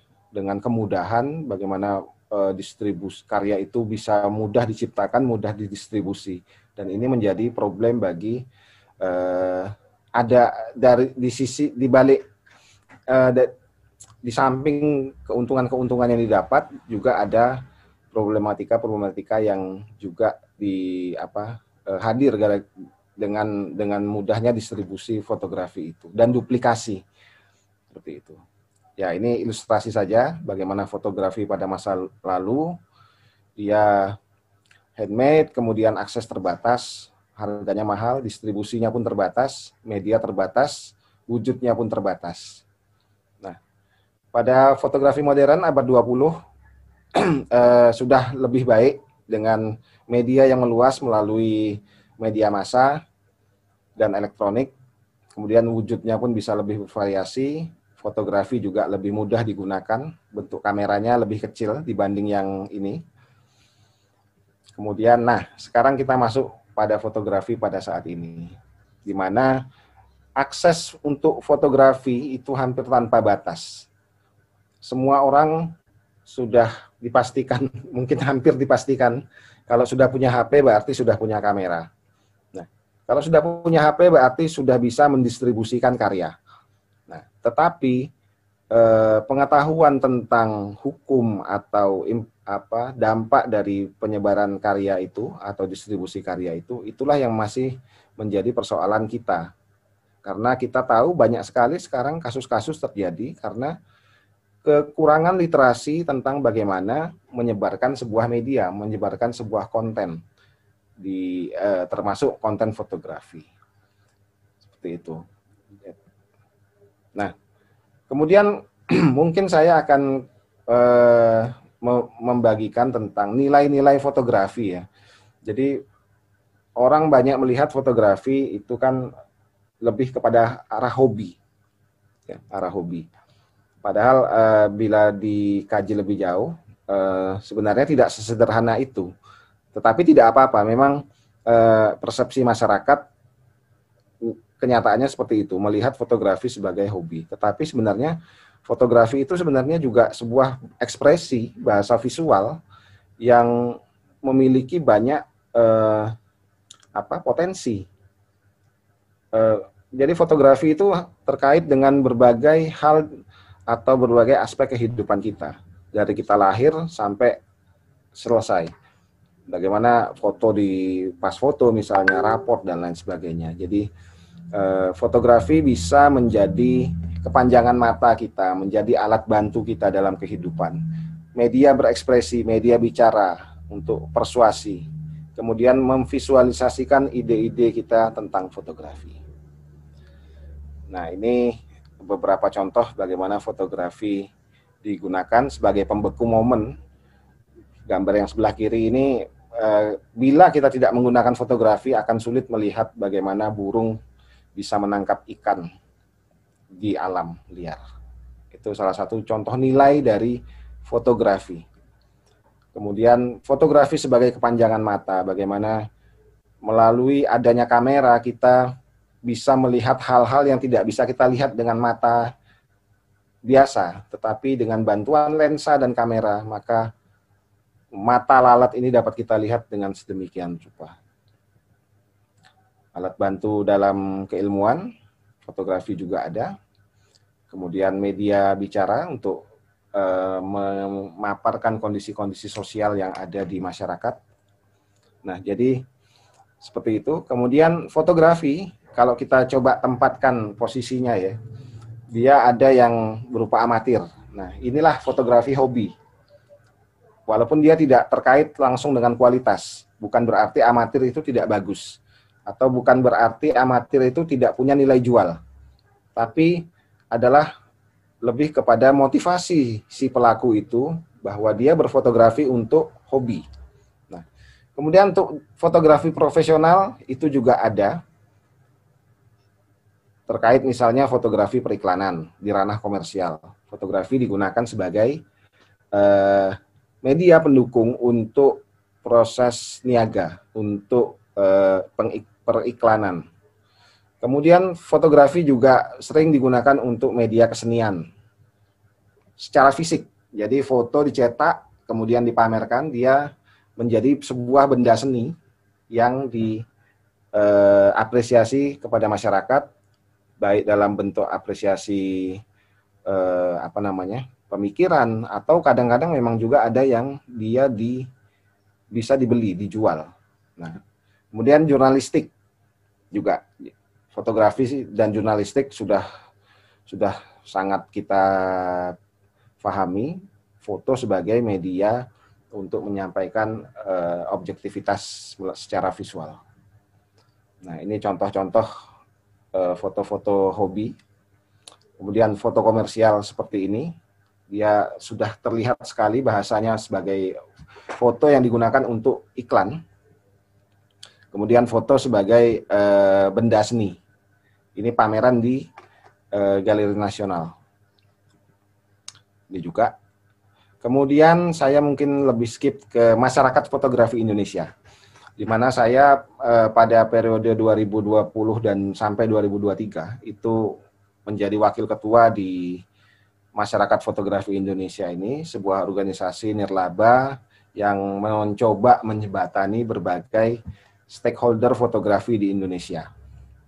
Jadi kami MFI itu ada lima pilar, yaitu pemerintah. Dan hari ini, alhamdulillah MFI saya selaku apa dalam kapasitas wakil ketua MFI sangat bersyukur bisa ada kontak dengan DJKI ini sehingga salah satu permasalahan kami bisa kita adukan atau kita curhatkan kepada Pak Agung. Mudah-mudahan eh, tidak sekali ini aja Pak, mohon arahan. Jadi kami punya lima pilar yaitu pemerintah, bagaimana kita mencoba untuk connect dengan pemerintah, pelaku bisnis, pelaku fotografernya sendiri, kemudian kelompok masyarakat serta dunia pendidikan.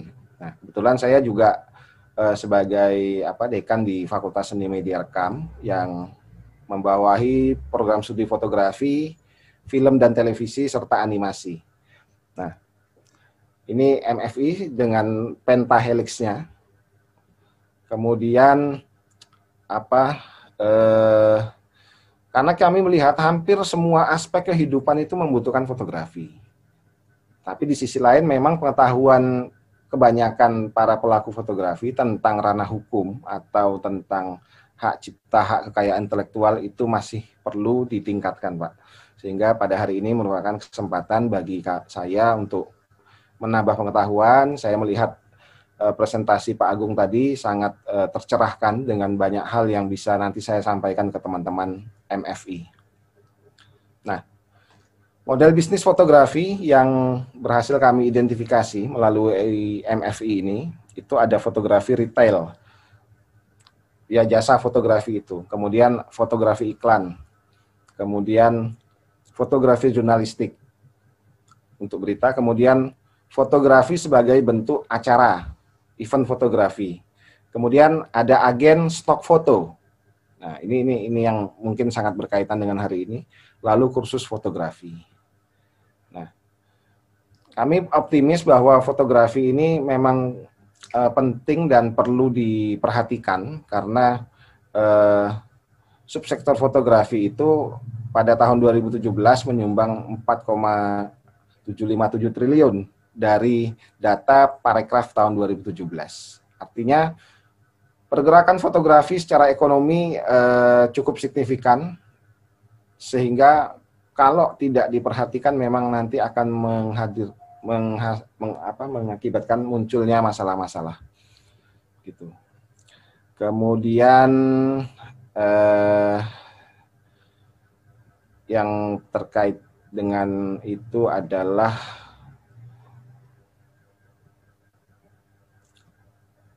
event fotografi, lomba foto, workshop.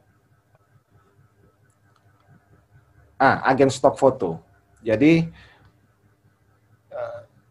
agen stok foto ini menjadi salah satu apa pilihan bagi para fotografer di mana karya-karyanya itu dia jual. Dia jual melalui eh, aplikasi-aplikasi berbasis web, baik yang di luar negeri maupun yang di dalam negeri. Nah, di luar negeri itu ada yang namanya Shutterstock, di mana foto-foto itu diupload kemudian diverifikasi oleh Shutterstock kemudian dijual untuk publik. Jadi misalnya ada media masa ingin menggunakan bisa membeli dari situ. Sementara yang di Indonesia ada Imaginesia, jadi stok foto lokal Indonesia. Di sini juga eh, pengguna fotografi, misalnya sebuah kantor daripada dia harus mengirim fotografer ke lokasi tertentu untuk mencari gambar apa, dia mending bisa membeli image dari sini. Seperti itu kurang lebih yang saya sampaikan, tetapi secara umum saya bisa menyampaikan bahwa kami masyarakat fotografi Indonesia itu memiliki beberapa masalah, Pak, terkait dengan perlindungan karya kami. Memang tadi eh, sudah dijelaskan bahwa karya itu otomatis dilindungi undang-undang ketika karya itu dipublikasikan, tetapi eh, di beberapa tempat lapangan itu ada terjadi sejumlah karya yang digunakan tanpa izin, tanpa pemberitahuan oleh fotografernya, eh, tanpa pemberitahuan kepada fotografernya, dan beberapa itu dilakukan oleh instansi pemerintah sendiri, sehingga ketika kita akan me mengurus itu juga sudah kesulitan.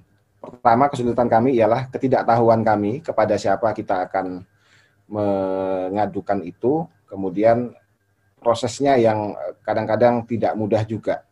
Dan beberapa mahasiswa saya mengalami itu, Pak. Jadi karya fotonya bagus kemudian digunakan tanpa izin. Itu yang sering kami kami alami. Dan itu memang juga menjadi salah satu konsekuensi ketika kita sudah mendigitali sasi karya kita dan men-share karya kita. Sehingga eh, fotografi terutama pelakunya memang sangat membutuhkan perlindungan tentang hak ciptanya ini.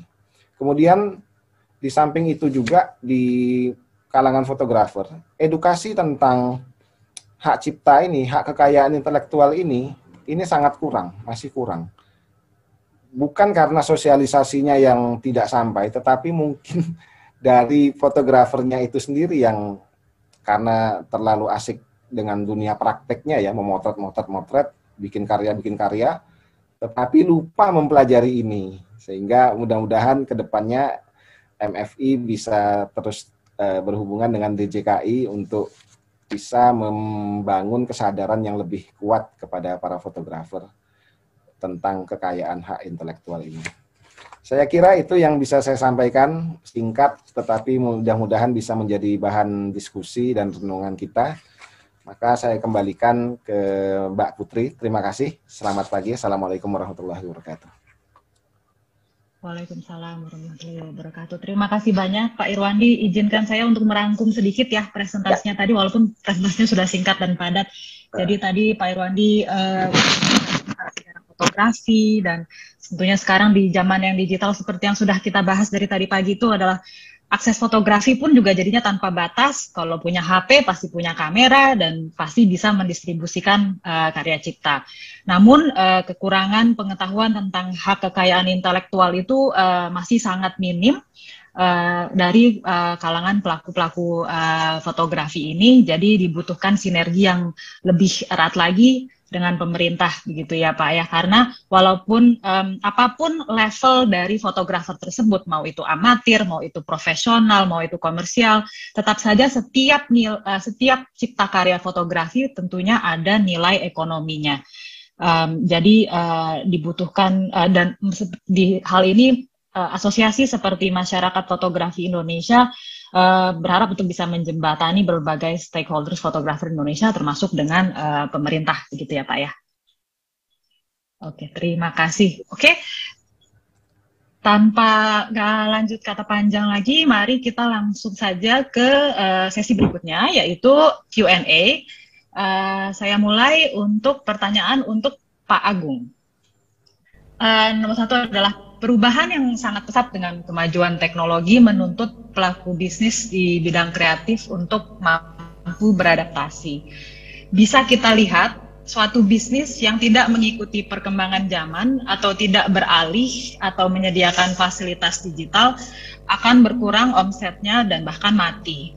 Namun dunia digital pun bukan dunia yang aman-aman saja seperti yang tadi uh, Pak Agung sudah presentasikan. Beragam aksi pembajakan digital marak terjadi sebenarnya bagaimana para pelaku ekonomi kreatif harus bersikap untuk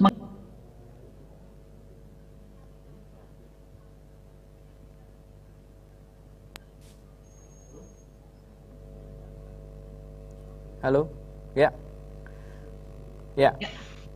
ya. Jadi uh, tadi uh, ber, sebelum saya menjawab ini saya juga tadi mengkomentari sebentar yang disampaikan oleh Pak Irwani tadi presentasi sangat uh, menarik sekali Pak dan memang ke depannya kita nanti bisa duduk bareng lagi Pak untuk melihat masalah fotografer ini dan memang uh, ini masalah yang serius ya. Tadi saya sudah mencatat beberapa uh, apa yang Bapak sampaikan tadi dan juga yang tadi Bapak sampaikan bahwa memang banyak dari kalangan apa fotografer yang belum memahami. Dan ini mungkin juga menjadi uh, PR kita bersama Pak untuk sama-sama duduk bareng dan kita memberikan edukasi ke teman-teman fotografer. Ya, memang uh, terkait dengan masalah tadi Pak, masalah penggunaan foto segala macam. Ini orang banyak yang nggak paham bahwa orang boleh saja mendownload dari sebuah karya fotografer dan kemudian mereka uh, memasukkan dalam bisnis mereka, gitu kan? Mereka bikin portofolio uh, sebuah uh, usahanya yang startup itu kebanyakan mereka menggunakan itu. Itu banyak terjadi. Dan memang uh, tadi yang Bapak katakan, uh, Bapak sampaikan tadi terkait dengan lembaga pemerintah, ya memang kita juga sudah melakukan uh, menyampaikan ke beberapa lembaga pemerintah ya uh, yang sering menggunakan gambar-gambar di dalam uh, atau foto-foto di dalam produk-produk yang dihasilkan oleh lembaga tersebut. Ya kami memang sudah sampaikan alangkah baiknya mereka bikin sendiri atau meng-hire fotografer untuk me melakukan kontrak dengan mereka untuk menghasilkan karya yang memang sudah disepakati oleh kedua belah pihak. Atau paling nggak ada mekanisme penggunaan dengan dengan perjanjian ya seperti itu juga sudah kami sampaikan. Dan memang uh, terkait tadi Pak yang mengenai pencatatan ciptaan sebenarnya kita bisa melihat bahwa hak cipta itu perlindungannya otomatis sejak pertama kali dipublikasikan. Uh, Tetapi uh, ada kewajiban dari seorang pencipta untuk mendokumentasikan kapan ciptaan itu pertama kali diwujudkan. Maka kalau tidak uh, apa uh, tidak bisa melakukan pendokumentasian yang baik, maka di undang-undang sudah memberikan fasilitas adanya pencatatan ciptaan. Dan pencatatan ciptaan sudah bisa dirajukan secara digital, Pak. Syarat lengkap bisa satu hari bisa keluar, Pak. Nah ini juga perlu disampaikan ke teman-teman fotografer. Jadi kalau memang bisa seperti itu bisa di, dilakukan, gitu ya. Apalagi kalau dia e, bisa menunjukkan u, u, apa UMKM-nya, gitu ya, atau lembaga pendidikan, bisa lebih harganya lebih ada ada diskon, Pak, begitu. Ya. Baik, mungkin tadi yang terkait dengan pelaku ekonomi kreatif ya, Mbak Putri, yang terkait dengan bagaimana apa yang harus mereka respon. Ya, memang uh, ini yang harus kita, tentunya yang pertama kali yang harus dilakukan adalah mereka harus paham dulu hak-hak mereka dan kemudian juga mereka memahami uh, ketentuan yang berlaku mengenai uh, karya cipta ini. Dan memang juga banyak pelaku ekonomi kreatif ya yang belum mengetahui hak-haknya mereka jadi ada hak-hak yang memang mereka miliki bahwa memang ini ada di dalam uh, apa karya-karya mereka yang dihasilkan bahwa mereka ada hak ekonomi yang uh, bisa di apa namanya bisa di uh, mintakan kepada orang yang menggunakan atau minta mereka harus minta izin kepada pelaku ekonomi kreatif. Nah, tentunya memang di sini kita bisa melihat bahwa pelaku ekonomi kreatif tadi uh, juga harus bisa pertama hak-hak mereka yang harus mereka tahui ya seperti contohnya ada waktu beberapa waktu yang lalu saya pernah datang seorang uh, pelaku ekonomi kreatif ya. Dia seorang pemula dia menciptakan sebuah uh, karya lagu terus kemudian dia juga menyanyikan lagu tersebut. Nah saya bilang bahwa anda punya dua hak di sini sebagai pencipta lagu dan sebagai pelaku pertunjukan. Ketika lagu itu dibawakan oleh uh, anda sendiri di sebuah panggung dan ketika ada orang merekam pertunjukan Anda dan kemudian diupload di sebuah uh, konten di apa sebuah uh, situs di internet, ini juga Anda bisa bisa saja melakukan melarang pihak tersebut apalagi di uploadnya untuk konten konten-konten yang sifatnya komersial.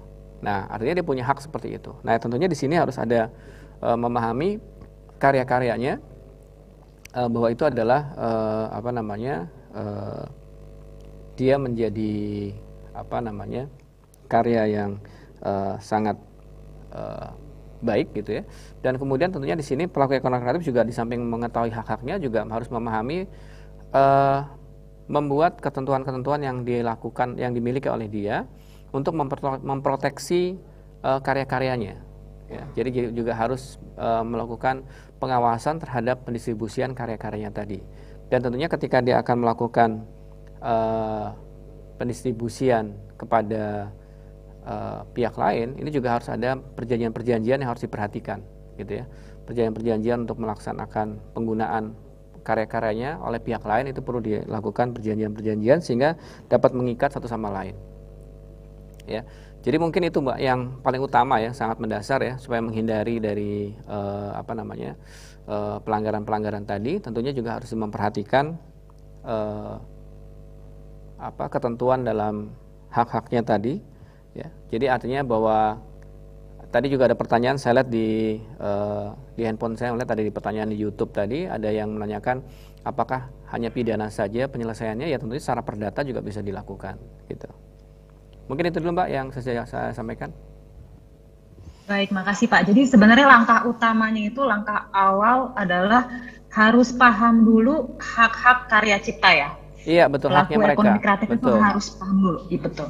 Karena... Nah mungkin di sini kalau boleh saya uh, menyarankan Pak, dari beberapa pemangku kepentingan seperti dari pemerintah, lalu dari masyarakat seperti uh, dari organisasinya Pak Irwandi, Masyarakat Fotografi Indonesia, dan juga pihak swasta seperti Google selaku uh, pemilik uh, platform YouTube. Bisa bekerja sama ya Pak untuk uh, membantu me, uh, me, me, meningkatkan pendidikan atau meningkatkan pengetahuan masyarakat luas dan pelaku ekonomi kreatif tentang hak-hak uh, dari karya iya. ciptanya yeah. itu. Karena kan ternyata kan hak karya cipta ini kan sangat rumit ya Pak ya. Seperti tadi contoh Bapak bilang ada pencipta lagu dan dia juga uh, ternyata performing uh, lagunya itu dan di situ yeah. ternyata ada dua dua hak hmm. yang dia bisa miliki. Nah seperti itu kan hal yang orang awam tentunya tidak tahu. Hmm. Ya ini kayaknya juga harus kerjasama dengan Mbak Putri nih kan dengan Google kan banyak yang dipakai aplikasinya oleh uh, startup nih. Jadi harus yeah. Ya. uh, duduk bareng nih dengan apa namanya dengan uh, dengan Google ya. Karena YouTube juga merupakan bagian dari Google itu juga saya seperti itu. Karena sekarang uh, di era pandemi ini banyak youtuber-youtuber yang baru gitu ya. Bahkan teman saya itu uh, di era pandemi ini kerjaannya lagi susah, dia jadi youtuber. Saya bilang di era pandemi ini malah dia sibuk bikin konten gitu kan. Jadi artinya ini banyak uh, startup baru yang yang yang bermunculan di era pandemi ini yang mereka kreatif dia nggak mau duduk manis begitu saja tapi dia menghasilkan karya-karya yang baru gitu ya. Dan ini memang juga mereka perlu tahu gitu loh. Ketika karyanya itu menarik, pembahasannya menarik dan dia direkam oleh orang lain, ini kan menjadi satu karya cipta ya, karya sinematografi ya, karya video. Uh, kemudian itu kemudian itu juga banyak yang Ya seperti contohnya sekarang gini, ketika karya itu baik, kemudian kadang-kadang dimutilasi nih, dipotong sedikit, dimasukkan ke konten uh, media sosial gitu ya. Ini jadi hal yang menarik. Gitu. Ini juga harus diperhatikan bahwa ini sebenarnya merupakan ada pelanggaran hak moral. Jadi kalau umpamanya karyanya dia dipotong, dimasukkan ke karya orang lain, nah ini juga uh, ada haknya di situ melakukan pelanggaran hak moral. Nah ini banyak ketika teman saya seorang youtuber itu juga merasa kaget, tuh kalau gitu saya juga pernah nih konten saya dipakai sebagian dipotong, kemudian dipakai dimasukkan uh, sebuah uh, di aplikasi tertentu gitu ya, itu dipakai untuk uh, sebagai apa ya, ada quotesnya segala macam gitu ya, dipakai di situ. Nah itu sebenarnya sudah merupakan adanya pelanggaran hak moral kalau dia nggak dipakai, nggak di ini, nggak minta izin gitu ya, gitu. Iya, kelihatannya memang harus itu Mbak Putri, Baik, harus kasih, harus Pak. ada edukasi Dan ke mereka ya. idenya, harus ya. kerja sama bareng ya semuanya ya. Iya, jadi semakin penting nih Bu. Nanti sama Pak Irwandi juga kita harus duduk bareng lagi nih sama Mbak Putri Pak dengan Google yang. Siap, siap. Amin. Oke, izinkan saya menanyakan pertanyaan kedua nih, masih untuk Pak Agung. Saat ini mungkin masih banyak masyarakat penikmat karya cipta yang belum bisa membedakan produk yang original dan produk yang melanggar hak cipta orang lain. Hmm. Apakah ada petunjuk baku atau saran yang bisa dilakukan oleh masyarakat umum agar mereka mendapat karya yang asli yang nantinya berdampak pada kesejahteraan para pelaku seni dan pemilik hak cipta yang memasarkan karyanya di dunia maya?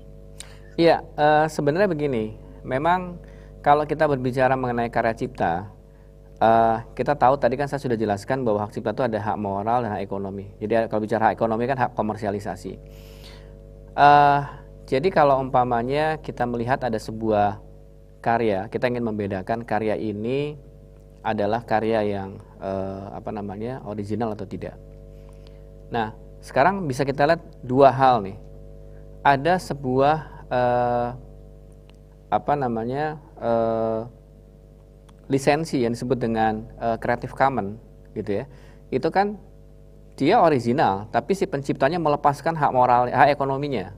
Artinya hak atribusinya tetap uh, melekat hanya hak ekonominya dibebaskan gitu ya. artinya dia boleh uh, share uh, like gitu ya. Nah terus kemudian kalau seperti ini ya berarti si penciptanya memang membebaskan gitu ya tapi juga ada yang memang uh, yang original itu adalah dia masuk ke dalam konten-konten uh, dalam aplikasi-aplikasi tertentu atau dalam situs-situs tertentu. Ketika orang itu akan mendownload, pasti dia akan minta notifikasi di situ ada, notifikasi di situ, ya Anda harus berbayar umpamanya. Gitu. Itu itu merupakan uh, bentuk bahwa itu adalah original. Memang ada ada aplikasi-aplikasi uh, yang memang uh, bisa diakses dengan uh, berbayar Nah, dengan berbayar itu sudah merupakan bahwa dia akan memberikan kontribusi yang eh, apa namanya? yang eh, original gitu ya. Kita bisa melihat seperti itu ya. Nah, ya kalau kita memangnya kita membenar, mendengarkan musik eh, katakanlah berlangganan Spotify umpamanya. Kita bisa situs itu. Nah, ini eh, bentuk-bentuk dari konten-konten bajakan biasanya dengan menggunakan seperti itu. Mereka membiayai eh, iklan-iklan perjudian. uh, membuat sebuah konten ya katakanlah dia cover version gitu ya untuk menyanyikan lagunya itu memang harus minta izin kepada pihak lain kalau dia komersial. Tapi si orang penyanyinya ini sendiri juga punya hak cipta atas karya pertunjukannya. Itu yang harus diperhatikan. Jadi eh, pelaku pertunjukan yang menyanyi tadi itu eh, bisa dilakukan apa namanya eh, dilakukan eh, perekaman gitu ya. Karena ada rekaman. Nah si penyanyi ini juga punya hak cipta atas uh, dia menyanyi tadi, karya pertunjukannya tadi. Jadi sebagai musisinya, mamanya ada orang cover version, sebelahnya ada orang main akustik, gitar akustiknya, penyanyi dan musisinya juga dilindungi sebagai uh, pelaku pertunjukan. Gitu. Nah ini juga harus dipahami, pak, bapak ibu sekalian. Jadi artinya dia membawakan lagu orang lain, ya oke, okay, dia harus minta izin, gitu ya. Kalau apalagi untuk komersial, gitu ya. Kalau di YouTube pasti dia akan sudah dipotong duluan tuh untuk pencipta akan uh, share, gitu ya Nah, tapi dia juga punya hak untuk atas uh, dia pertunjukannya sendiri. Gitu. Nah, ini harus dipahami oleh uh, para uh, apa namanya penyanyi atau para startup yang uh, melakukan cover version atas atau lagu gitu. Atau juga menggunakan gambar ya, gambar-gambar yang seperti yang tadi Pak Irwan dikatakan itu memang gampang di-download di uh, YouTube, apa di internet gitu ya. Ketika saya ingin bikin konten uh, atau membuat sebuah uh, portofolio sebuah uh, perusahaan saya, ada backgroundnya pemandangan, saya mengambil gambar dari internet. Bahwa yang dari internet itu bukan berarti semuanya free. Free untuk kepentingan pribadi, oke. Okay gitu kan untuk kepentingan pribadi. Karena di undang-undang cipta yang dikatakan pelanggaran itu kalau dia komersial. Nah kalau sudah komersial itulah yang baru harus minta izin. Harus kita lihat klik kanan biasanya lihat siapa penciptanya dan apa message-nya di situ itu harus perhatikan jadi hal-hal seperti itu harus diperhatikan uh, ada ada informasi apa yang bisa didapatkan dari gambar tersebut gitu. Jadi memang harus harus harus uh, mulai cerdas di dalam melihat hal-hal seperti itu. Apalagi gambar ini paling banyak pak apalagi untuk presentasi gitu kan. Uh, untuk presentasi itu uh, kita harus juga melihat dan menyebutkan sumbernya dari mana ketika presentasi gitu ya. Nah ini yang perlu kita lihat di dalam penggunaan gambar tadi. Biasanya juga ada gambar-gambar yang disajikan di dalam uh, situs tertentu. Dia bisa uh, free tapi ketika dia untuk uh, kepentingan komersial di situ ditulis ada donasi yang harus dibayarkan itu banyak jadi banyak terjadi gitu. nah memang hal-hal seperti ini harus dibaca dulu ketentuan-ketentuan yang ada dalam situs tadi jadi kalau seorang akan mengakses sebuah satu ciptaan ya tentunya dia harus melihat dulu ketentuan-ketentuan yang ada di internet tadi gitu itu saja mungkin tipsnya itu mbak yang paling penting ya Oke, terima kasih Pak. Ini sepertinya edukasi itu penting sekali bukan hanya ya. untuk pemilik hak cipta, tapi juga untuk pengguna ya Pak ya. Iya, betul. Untuk pengguna juga yang memanfaatkan itu juga perlu sekali gitu ya. Nah, ini yang perlu di, di apa namanya? diperhatikan gitu ya. Pengguna kalau untuk kepentingan pribadi nggak masalah gitu ya. Gitu. Apa untuk uh, kepentingan pribadi nggak masalah. Tapi kalau sudah itu uh, untuk komersial ya, dimanfaatkan untuk kepentingan bisnisnya dia, nah itu baru harus ada bersinggungan dengan apa namanya uh, penciptanya gitu ya. Jadi kalau ada fotonya Pak Irwandi mau dipakai untuk kepentingan bisnis saya ya saya harus minta izin. gitu. Makanya kayaknya PR-nya kita semua ini banyak sekali dan yeah. tentunya uh, satu pemangku kepentingan itu tidak bisa melakukan semuanya. Seperti Betul. kembali lagi ke pernyataan kita sebelumnya, ini kita harus kerjasama bareng antara yeah, bareng. pihak swasta, pemerintah Betul. dan juga masyarakat. Baik, terima kasih banyak Pak Agung. Uh, sekarang izinkan saya untuk menanyakan pertanyaan ke Pak Irwandi. Ya. Pak Irwandi, menurut pengalaman Bapak, apakah dampak dari digitalisasi terhadap nilai ekonomi karya yang dihasilkan? Ini tadi sudah disentuh sedikit sih oleh Bapak ya. di presentasi Bapak, tapi kalau bisa diperlebar lagi, karena tadi ada berbagai macam-macam nilai kan ya di presentasi Bapak, ada nilai objektivitas, nilai kepanjangan mata, nilai alat bantu keilmuan. Ya. Uh, silakan. Ya, ya memang fotografi pada abad 20 sampai awal abad 21 itu kan eh, 100 tahun itu. Itu berbasis analog ya. Jadi orang sudah terbiasa dengan habitus-habitusnya. Bahwa memotret itu sulit, memakai film, kemudian kameranya apa hasilnya tidak bisa langsung disebar. nah, memang terjadi ke terkejutan atau gegar gegar budaya pada saat fotografi digital itu mulai masuk.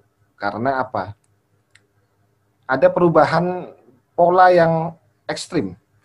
Foto foto itu sudah digital. Yang jelas bisnis cetak pada saat itu sangat terasa. Bisnis cetak foto.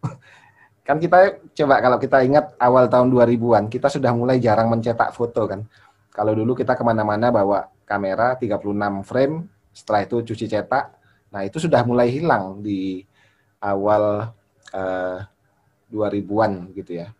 Nah, begitu pula dengan jasa. Dengan dengan mudahnya masyarakat memiliki kamera, dia menganggap bahwa fotografi itu semakin tidak sulit sehingga tidak perlu apa tidak perlu membayar mahal untuk fotografi. Padahal untuk menghasilkan karya fotografi, kalau slide tadi itu saya perluas penjelasannya, itu ekspresi pemikiran itu juga ada waktu untuk belajar untuk uh, bisa menemukan bagaimana berkomunikasi secara visual dengan fotografi dengan baik. Nah, itu tantangan fotografi. Ketika sudah digital ini, memang sempat ada uh, pertama orang merasa fotografi mudah, sehingga dengan merasa itu mudah, asal jepret begitu katakan bahasa ekstrimnya, itu dengan mudah dia memakai karya orang. Mengambil di internet dipakai begitu kan. Foto menu makanan itu kalau kita perhatikan di restoran-restoran mungkin tidak semua tapi masih ada yang foto-fotonya itu bukan foto buatan sendiri. Dia mengambil. Nah, karena dia tidak mau membayar fotografer untuk membuat itu. Jadi tantangannya di situ ialah benar tadi edukasi sangat penting baik bagi pengguna maupun pelaku juga eh, stakeholder fotografi MFI misalnya juga harus mengedukasi masyarakat bahwa membuat karya foto itu bukan perkara yang simple begitu. Walaupun ada juga fotografi simple, tetapi dalam hal-hal tertentu fotografi yang maksimal itu memang butuh perancangan, butuh pemikiran, dan butuh ide untuk membuatnya. Jadi tantangan kita hampir sama dengan dunia eh, apa media-media lain, distribusi, kemudian duplikasi itu menjadi eh, tantangan serius bagi dunia fotografi. Begitu, Mbak Putri. Oke, baik, makasih Pak Irwandi. Jadi lagi-lagi edukasi nih ya Pak ya? Betul, edukasi.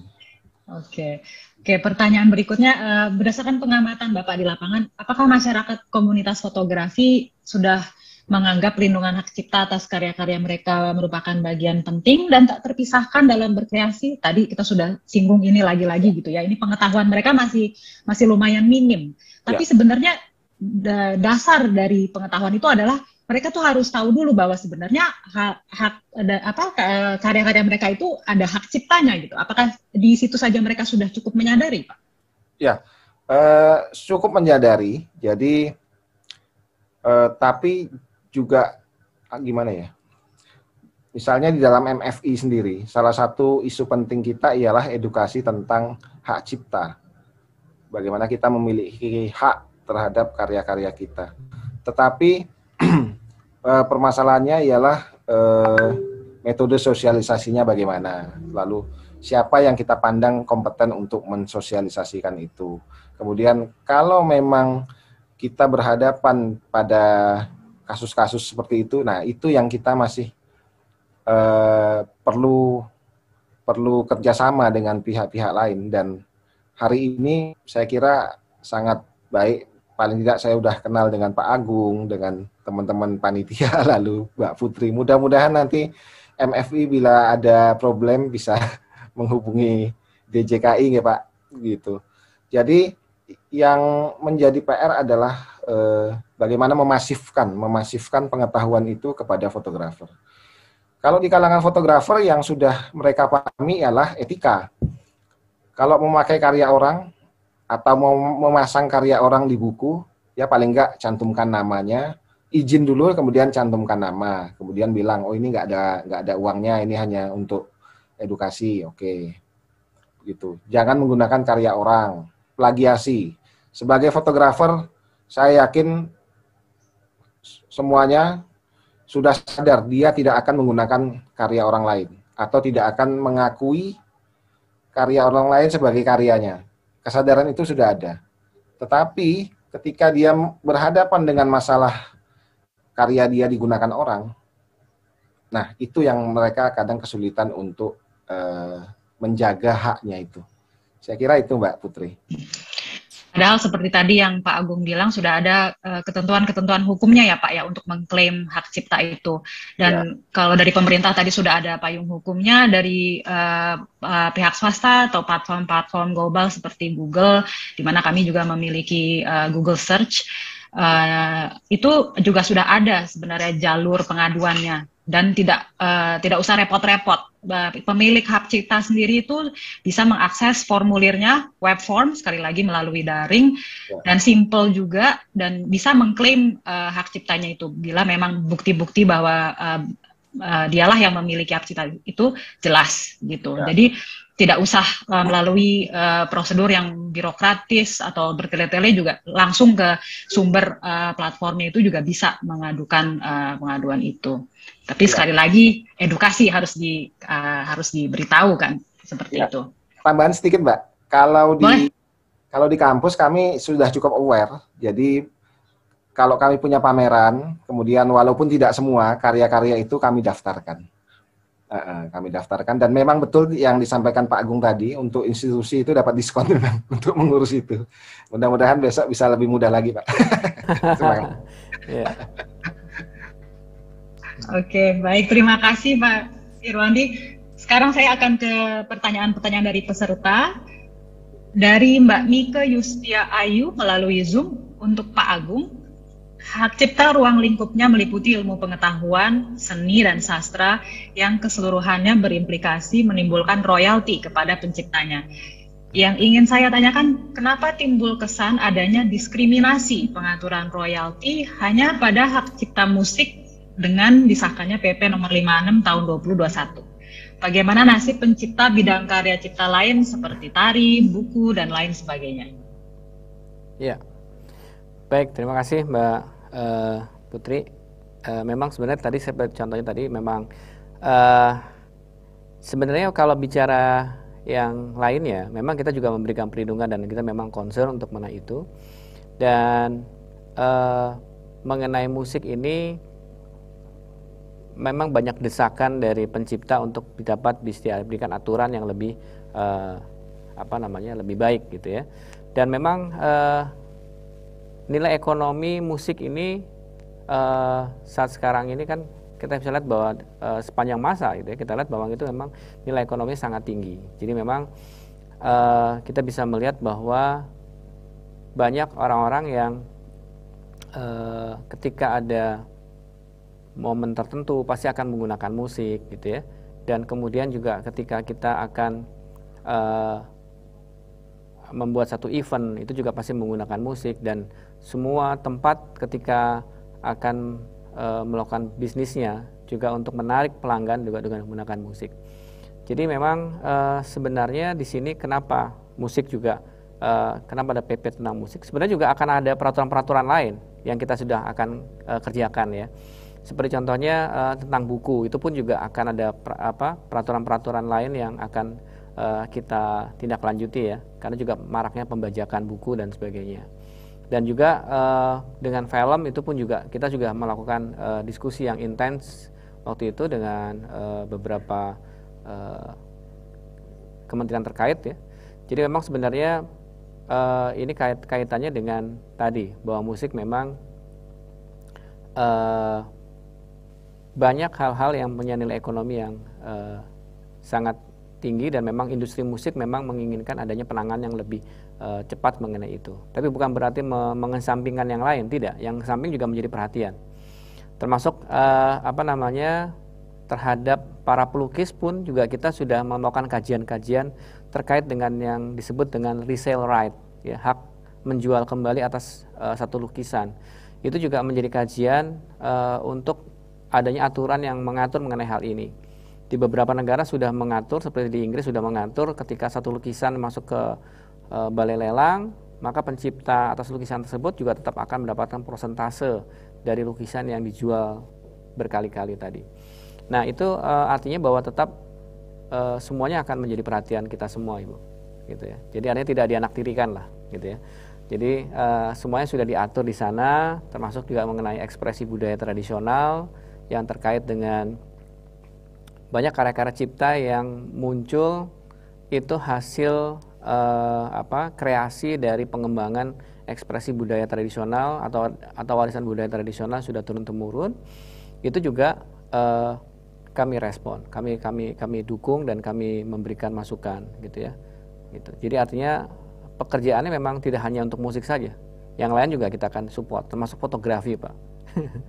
Gitu juga banyak fotografi. Siap, mungkin masalahnya uh, musik itu kenapa menjadi uh, kelihatannya lebih menonjol. Karena memang ini menjadi hal yang uh, pembahasan di mana-mana ya di, di dunia sendiri juga ini menjadi punya nilai ekonomi yang yang tinggi. Bukan berarti yang lain tidak memiliki nilai ekonomi yang tinggi memiliki nilai ekonomi yang tinggi tapi ini menjadi perhatian uh, yang uh, dari para pencipta yang lebih banyak di apa di uh, diinginkan untuk adanya aturan yang lebih uh, apa lebih detail mengenai peraturannya. Karena juga pelanggaran di bidang musik itu juga semakin uh, merebak di mana-mana gitu. dan ini tentunya akan kerugian-kerugian bagi para musisi kita yang sudah menciptakan karya-karyanya begitu bagus ya begitu kreatif tiba-tiba itu di uh, dibajak di mana-mana dan ini kita bisa melihat bahwa uh, banyak musisi-musisi dari dari Indonesia ini yang banyak yang ketika masa tuanya tidak bisa menikmati hasil karyanya sedangkan dia banyak diputar di mana-mana lagunya itu aja Mam. tapi yang jelas bahwa kami tidak menganaktirikan yang lain tetap itu menjadi perhatian kita ya. Dan mungkin masalahnya nanti uh, saya tadi ada pertanyaan juga saya lihat memang uh, kalau sosialisasi jangan setahun sekali gitu tapi juga mungkin harus ada intens dalam berapa bulan sekali.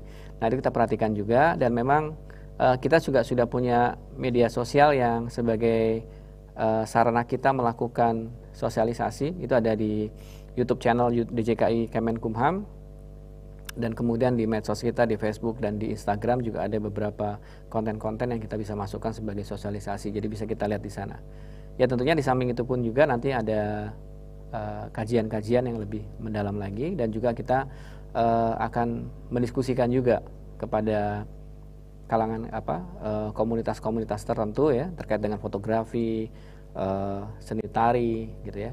Dan memang sebetulnya kalau uh, fotografi pun juga bisa membentuk lembaga manajemen kolektif yang menarik royalti, Pak. Itu juga mungkin perlu digagas ya. juga adanya lembaga manajemen kolektif yang menarik royalti untuk kalangan fotografi. Karena kan juga bisa jadi foto-foto itu digunakan oleh uh, beberapa pihak, terus kemudian penggunaan-penggunaan itulah yang akan uh, bisa ditarik royalti dan lembaga manajemen kolektif ini akan melakukan penarikan.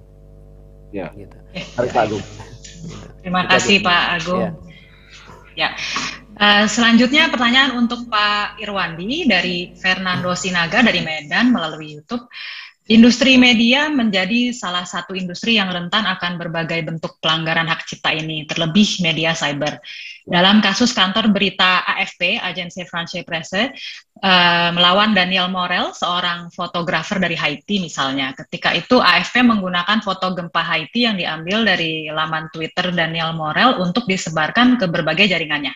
Alhasil Morel menggugat AFP atas pelanggaran hak cipta dan berhasil memperoleh kompensasi senilai 1,2 juta dolar. Nah, sejauh mana kita dapat mencantumkan foto yang sudah ada tanpa ada sengketa? Mengingat bahwa saat ini dengan berbagai kemudahan di internet banyak foto-foto yang tersebar. Iya. Nah, ini mungkin nanti Pak Agung juga bisa ikut menjawab. Ya, eh, pemahaman dasarnya ialah bahwa setiap karya itu ada hak moral, ada hak ekonomi itu tadi kan. Nah, yang sudah kami tanamkan di baik di MFI maupun di mahasiswa kami di ISI itu kalau mau menggunakan karya untuk poster misalnya, poster kegiatan kampus sekalipun yang itu tidak komersial, kita harus cantumkan ininya, cantumkan sumbernya bahwa foto ini milik miliknya si ini, miliknya si ini ada di sini, begitu kan? Nah, eh, kembali lagi edukasi. Jadi kita harus memahami bahwa karya yang sudah ditampilkan itu setiap karya yang ditampilkan ada pemiliknya, apalagi misalnya fotografi seperti itu. Jawaban singkat saya mungkin seperti itu. Jadi memang harus lebih berhati-hati. Artinya literasi media, literasi media itu juga perlu saya kira selain literasi hukum. Uh, literasi media ini sampai sekarang masih sering bermasalah. Kan banyak sekali sekarang yang viral negatif gara-gara dia melakukan sesuatu kemudian direkam dan itu dilihat banyak orang menjadi masalah. Beda ketika yang dia lakukan itu hanya dilihat teman satu kampung atau satu RT itu mungkin tidak akan viral. Tetapi ketika dia sudah masuk dalam media sosial, nah, maka butuh literasi media. Itu yang juga masih kurang dari kebanyakan kita. Saya kira jawaban saya itu. Siap, makasih Pak Irwandi. Pertanyaan berikutnya dari Cindy Alicia melalui YouTube untuk Pak Agung. Apakah ada langkah yang diambil DJKI untuk mempermudah dan memperbanyak pelaku UKM di pedesaan untuk mendaftarkan hak cipta sehingga mendatangkan manfaat ekonomi bagi masyarakat?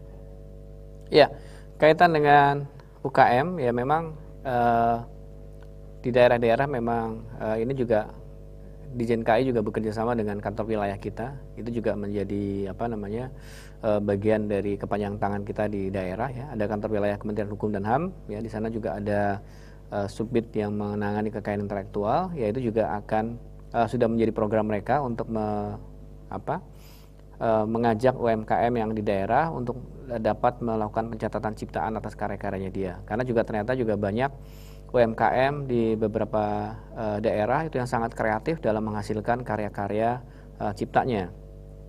Gitu ya. Dan bahkan kalau kita lihat di YouTube itu banyak konten konten-konten digital itu juga banyak yang dihasilkan oleh uh, teman-teman yang kreatif yang ada di pinggiran-pinggiran uh, gitu. Maksudnya ada, ada ada di pedesaan segala macam mereka bikin konten gitu ya. Dan itu sangat kreatif gitu ya. Kita kita seperti itu. Jadi artinya memang sebenarnya kreativitas itu bisa ada di mana saja dengan adanya digital ini mereka bisa uh, mengembangkan ekspre mengekspresikan mereka sendiri mengekspresikan apa karya mereka sendiri dan uh, dengan sarana-sarana yang uh, sudah memadai tadi jadi memang uh, tadi sudah itu sudah direspon dengan adanya perwakilan kita di daerah dengan ada Kementerian Hukum dan HAM di kantor wilayah yang ada di wilayah tersebut. Jadi nanti bisa mereka berkoordinasi dengan kantor wilayah di sana ya untuk melakukan ya. pencatatan. Gitu. Baik, terima kasih. Lalu pertanyaan berikutnya untuk Pak Irwandi dari Adam Setiawan dari Amikom melalui Zoom. Sebagai wakil MFI, bagaimana pengalaman dan upaya Bapak dalam menjadikan fotografi menjadi sebuah peluang kerja bagi masyarakat di era pandemi ini dalam upaya memberikan sumbangsi bagi pertumbuhan ekonomi nasional? Lalu ada pertanyaan kedua, Apakah ada upaya untuk menumbuhkan kesadaran hukum dan hak cipta bagi komunitas fotografi di Indonesia? Ini tadi kayaknya sudah sudah kita sentuh berkali-kali ya. Mungkin yang pertanyaan kedua uh, sudah terbahas. Yang pertanyaan pertama penjelasannya silahkan. Ya, terima kasih. Ya Pak uh, Pak siapa tadi yang tanya? Lupa sih. yang dari Pak Adam. Pak Adam dari Adam Setiawan. ya, ya uh, upaya kita untuk mengembangkan peluang di fotografi itu memang terus kita lakukan. Apalagi sekarang kan era disrupsi ya.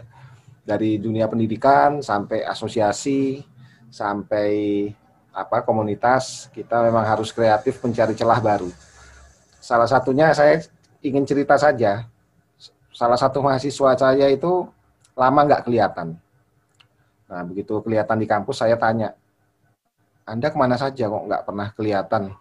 Tiba-tiba mau ngurus apa KP udah lama hilang lah anak ini. Saya kerja ya pak. Kerja apa anda saya itu sekarang motreti pelancong-pelancong yang ke Jogja untuk diposting ke Instagram. Sekali sekali pot sekali sesi itu satu juta. Padahal satu bulan bisa beberapa kali. Oh ya lumayan juga anda. Nggak jadi saya marahin jadi nah itu salah satu contoh kita membaca peluang baru dalam fotografi dan terus kita kembangkan. Artinya kalau saya dari dari akademisi itu selalu mencari dari mahasiswa. Guru kita itu justru mahasiswa yang banyak menemukan ide-ide untuk bentuk usaha fotografi. Nah, tentu juga selain itu kita melakukan pengembangan kemampuan bahwa di era disrupsi ini fotografi bisa berdiri bersama media-media lain Jadi selain belajar fotografi, belajar juga video, belajar juga desain, belajar juga bahasa supaya uh, bisa mensupport distribusi karya, promosi dan lain sebagainya. Juga uh, di dunia industri pun tuntut tuntutannya juga sudah berubah. Misalnya yang dicari itu kadang-kadang fotografer dan videografer. Nah, harus jadi satu sekarang. Untuk itu secara kurikulum kami berbenah. Kalau secara organisasi ya kita sering mengadakan pelatihan-pelatihan untuk apa secara gratis kepada para para pelaku untuk meningkatkan kemampuannya. Nah, untuk masalah hukum ini memang kita aware tetapi memang perlu ditingkatkan sosialisasinya atau program-programnya. Gitu, Mbak Putri dan Pak Adam. Baik, makasih Pak Irwandi. Itu menarik sekali memang ya Pak ya. Dengan digital, digitalisasi ini itu menciptakan alur-alur bisnis model baru ya Pak ya. Karena orang-orang semakin melek sosial media, jadi pada mau ya eksis lah gitu di sosial media. Jadi menciptakan kesempatan dan peluang ekonomi baru bagi fotografer-fotografer ya Pak ya. Dan tentunya dengan dengan peluang baru itu juga harus uh, keep up, harus bisa uh, apa namanya bisa upskilling juga ya Pak ya. Tadi menarik sekali itu ya. belajar bahasa juga karena kan turis-turis turis ya. mancanegara gitu kan. Misalnya nanti pandemi sudah selesai juga pastinya mancan turis ke pariwisata akan kembali uh, kembali bergairah mudah-mudahan. Ya, Jadi harus bisa Iya, jadi harus bisa uh, package-nya itu harus pas juga gitu, bisa bahasa Inggris juga atau bahasa Jepang atau bahasa Korea dan juga videografer dan fotografer, menarik sekali. Baik, terima kasih Pak Irwandi. Uh, sekarang pertanyaan untuk Pak Agung dan Pak Irwandi. Uh, dari Pak Ngestu dari UNSOED melalui Zoom. Saya adalah seorang video editor dan desain grafis yang menciptakan banyak karya dalam bentuk video, flyer, dan sejenisnya baik untuk keperluan pribadi maupun bisnis.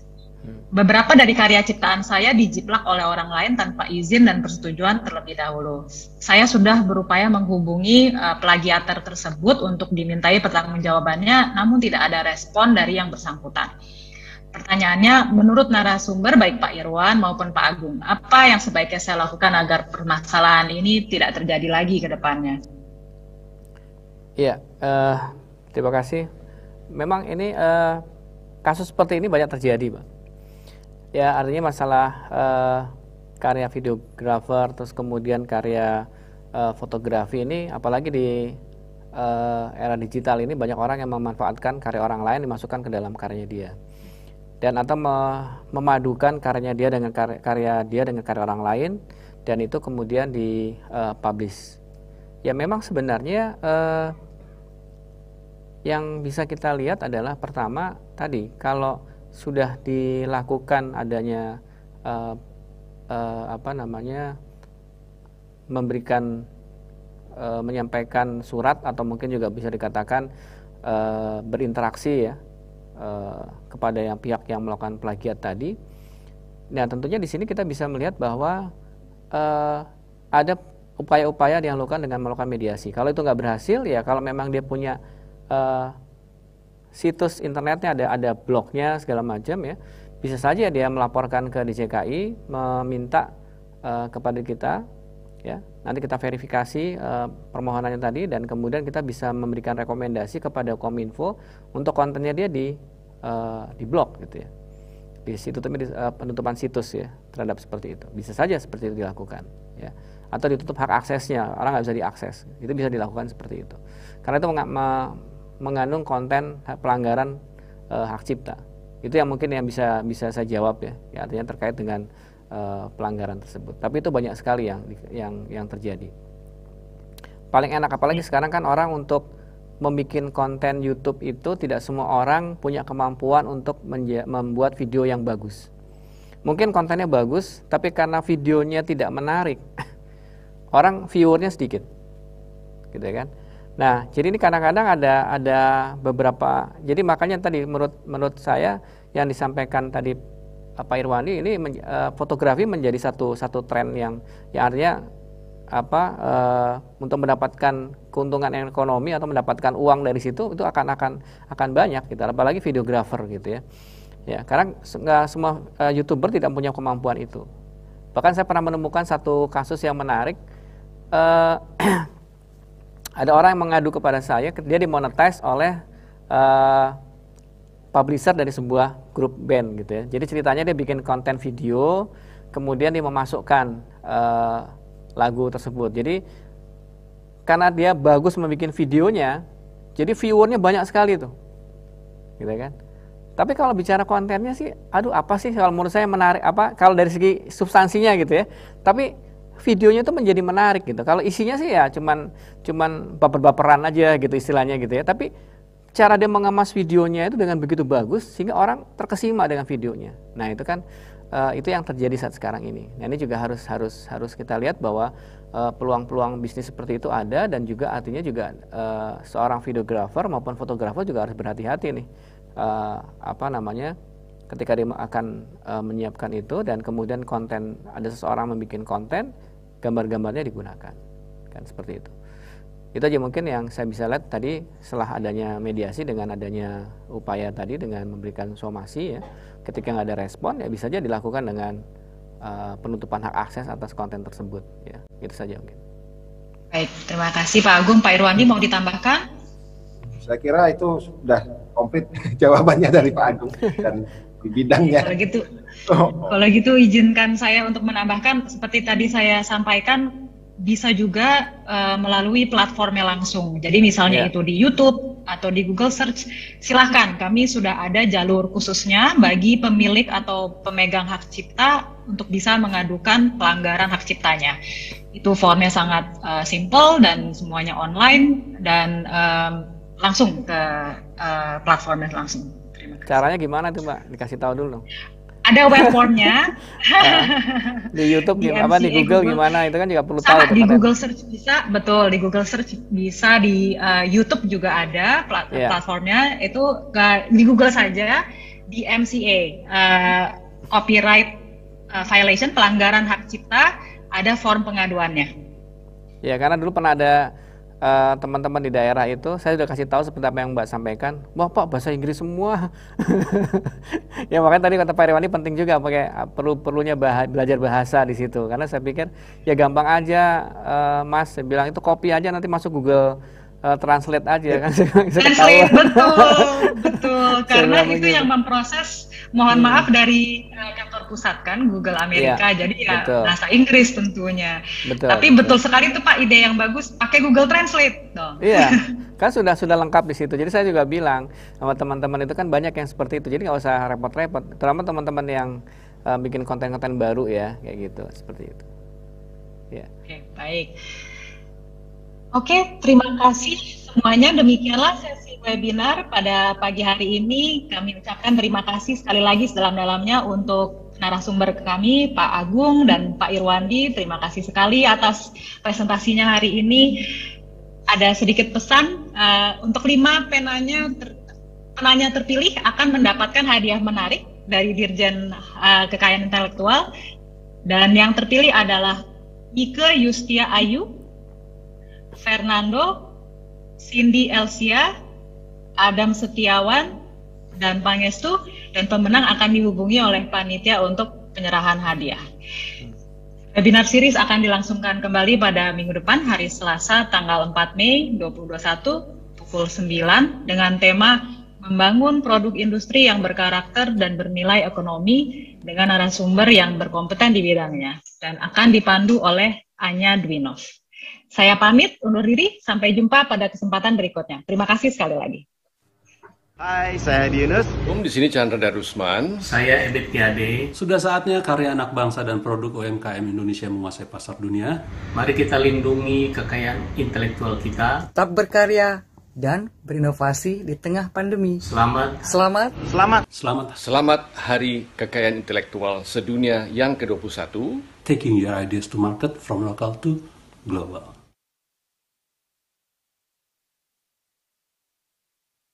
Hai, saya Once Mekel. Saya Meli Guslo. Saya Ovi Widianto. Saya Marcel Sihaan. Sudah saatnya karya anak bangsa dan produk UMKM Indonesia menguasai pasar dunia. Mari kita lindungi kekayaan intelektual kita. Tetap berkarya dan berinovasi di tengah pandemi. Selamat. Selamat. Selamat. Selamat. Selamat merayakan Hari Raya Kekayaan Intelektual Sedunia yang ke-21. Taking your ideas to market from local to global.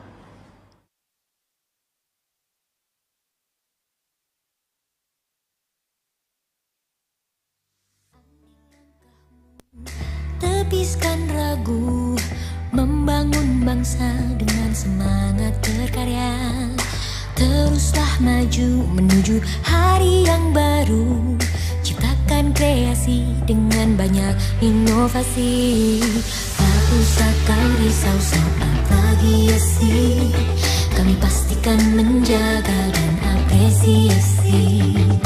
Tak usah takut akan duplikasi Ini milikmu seutuhnya selamanya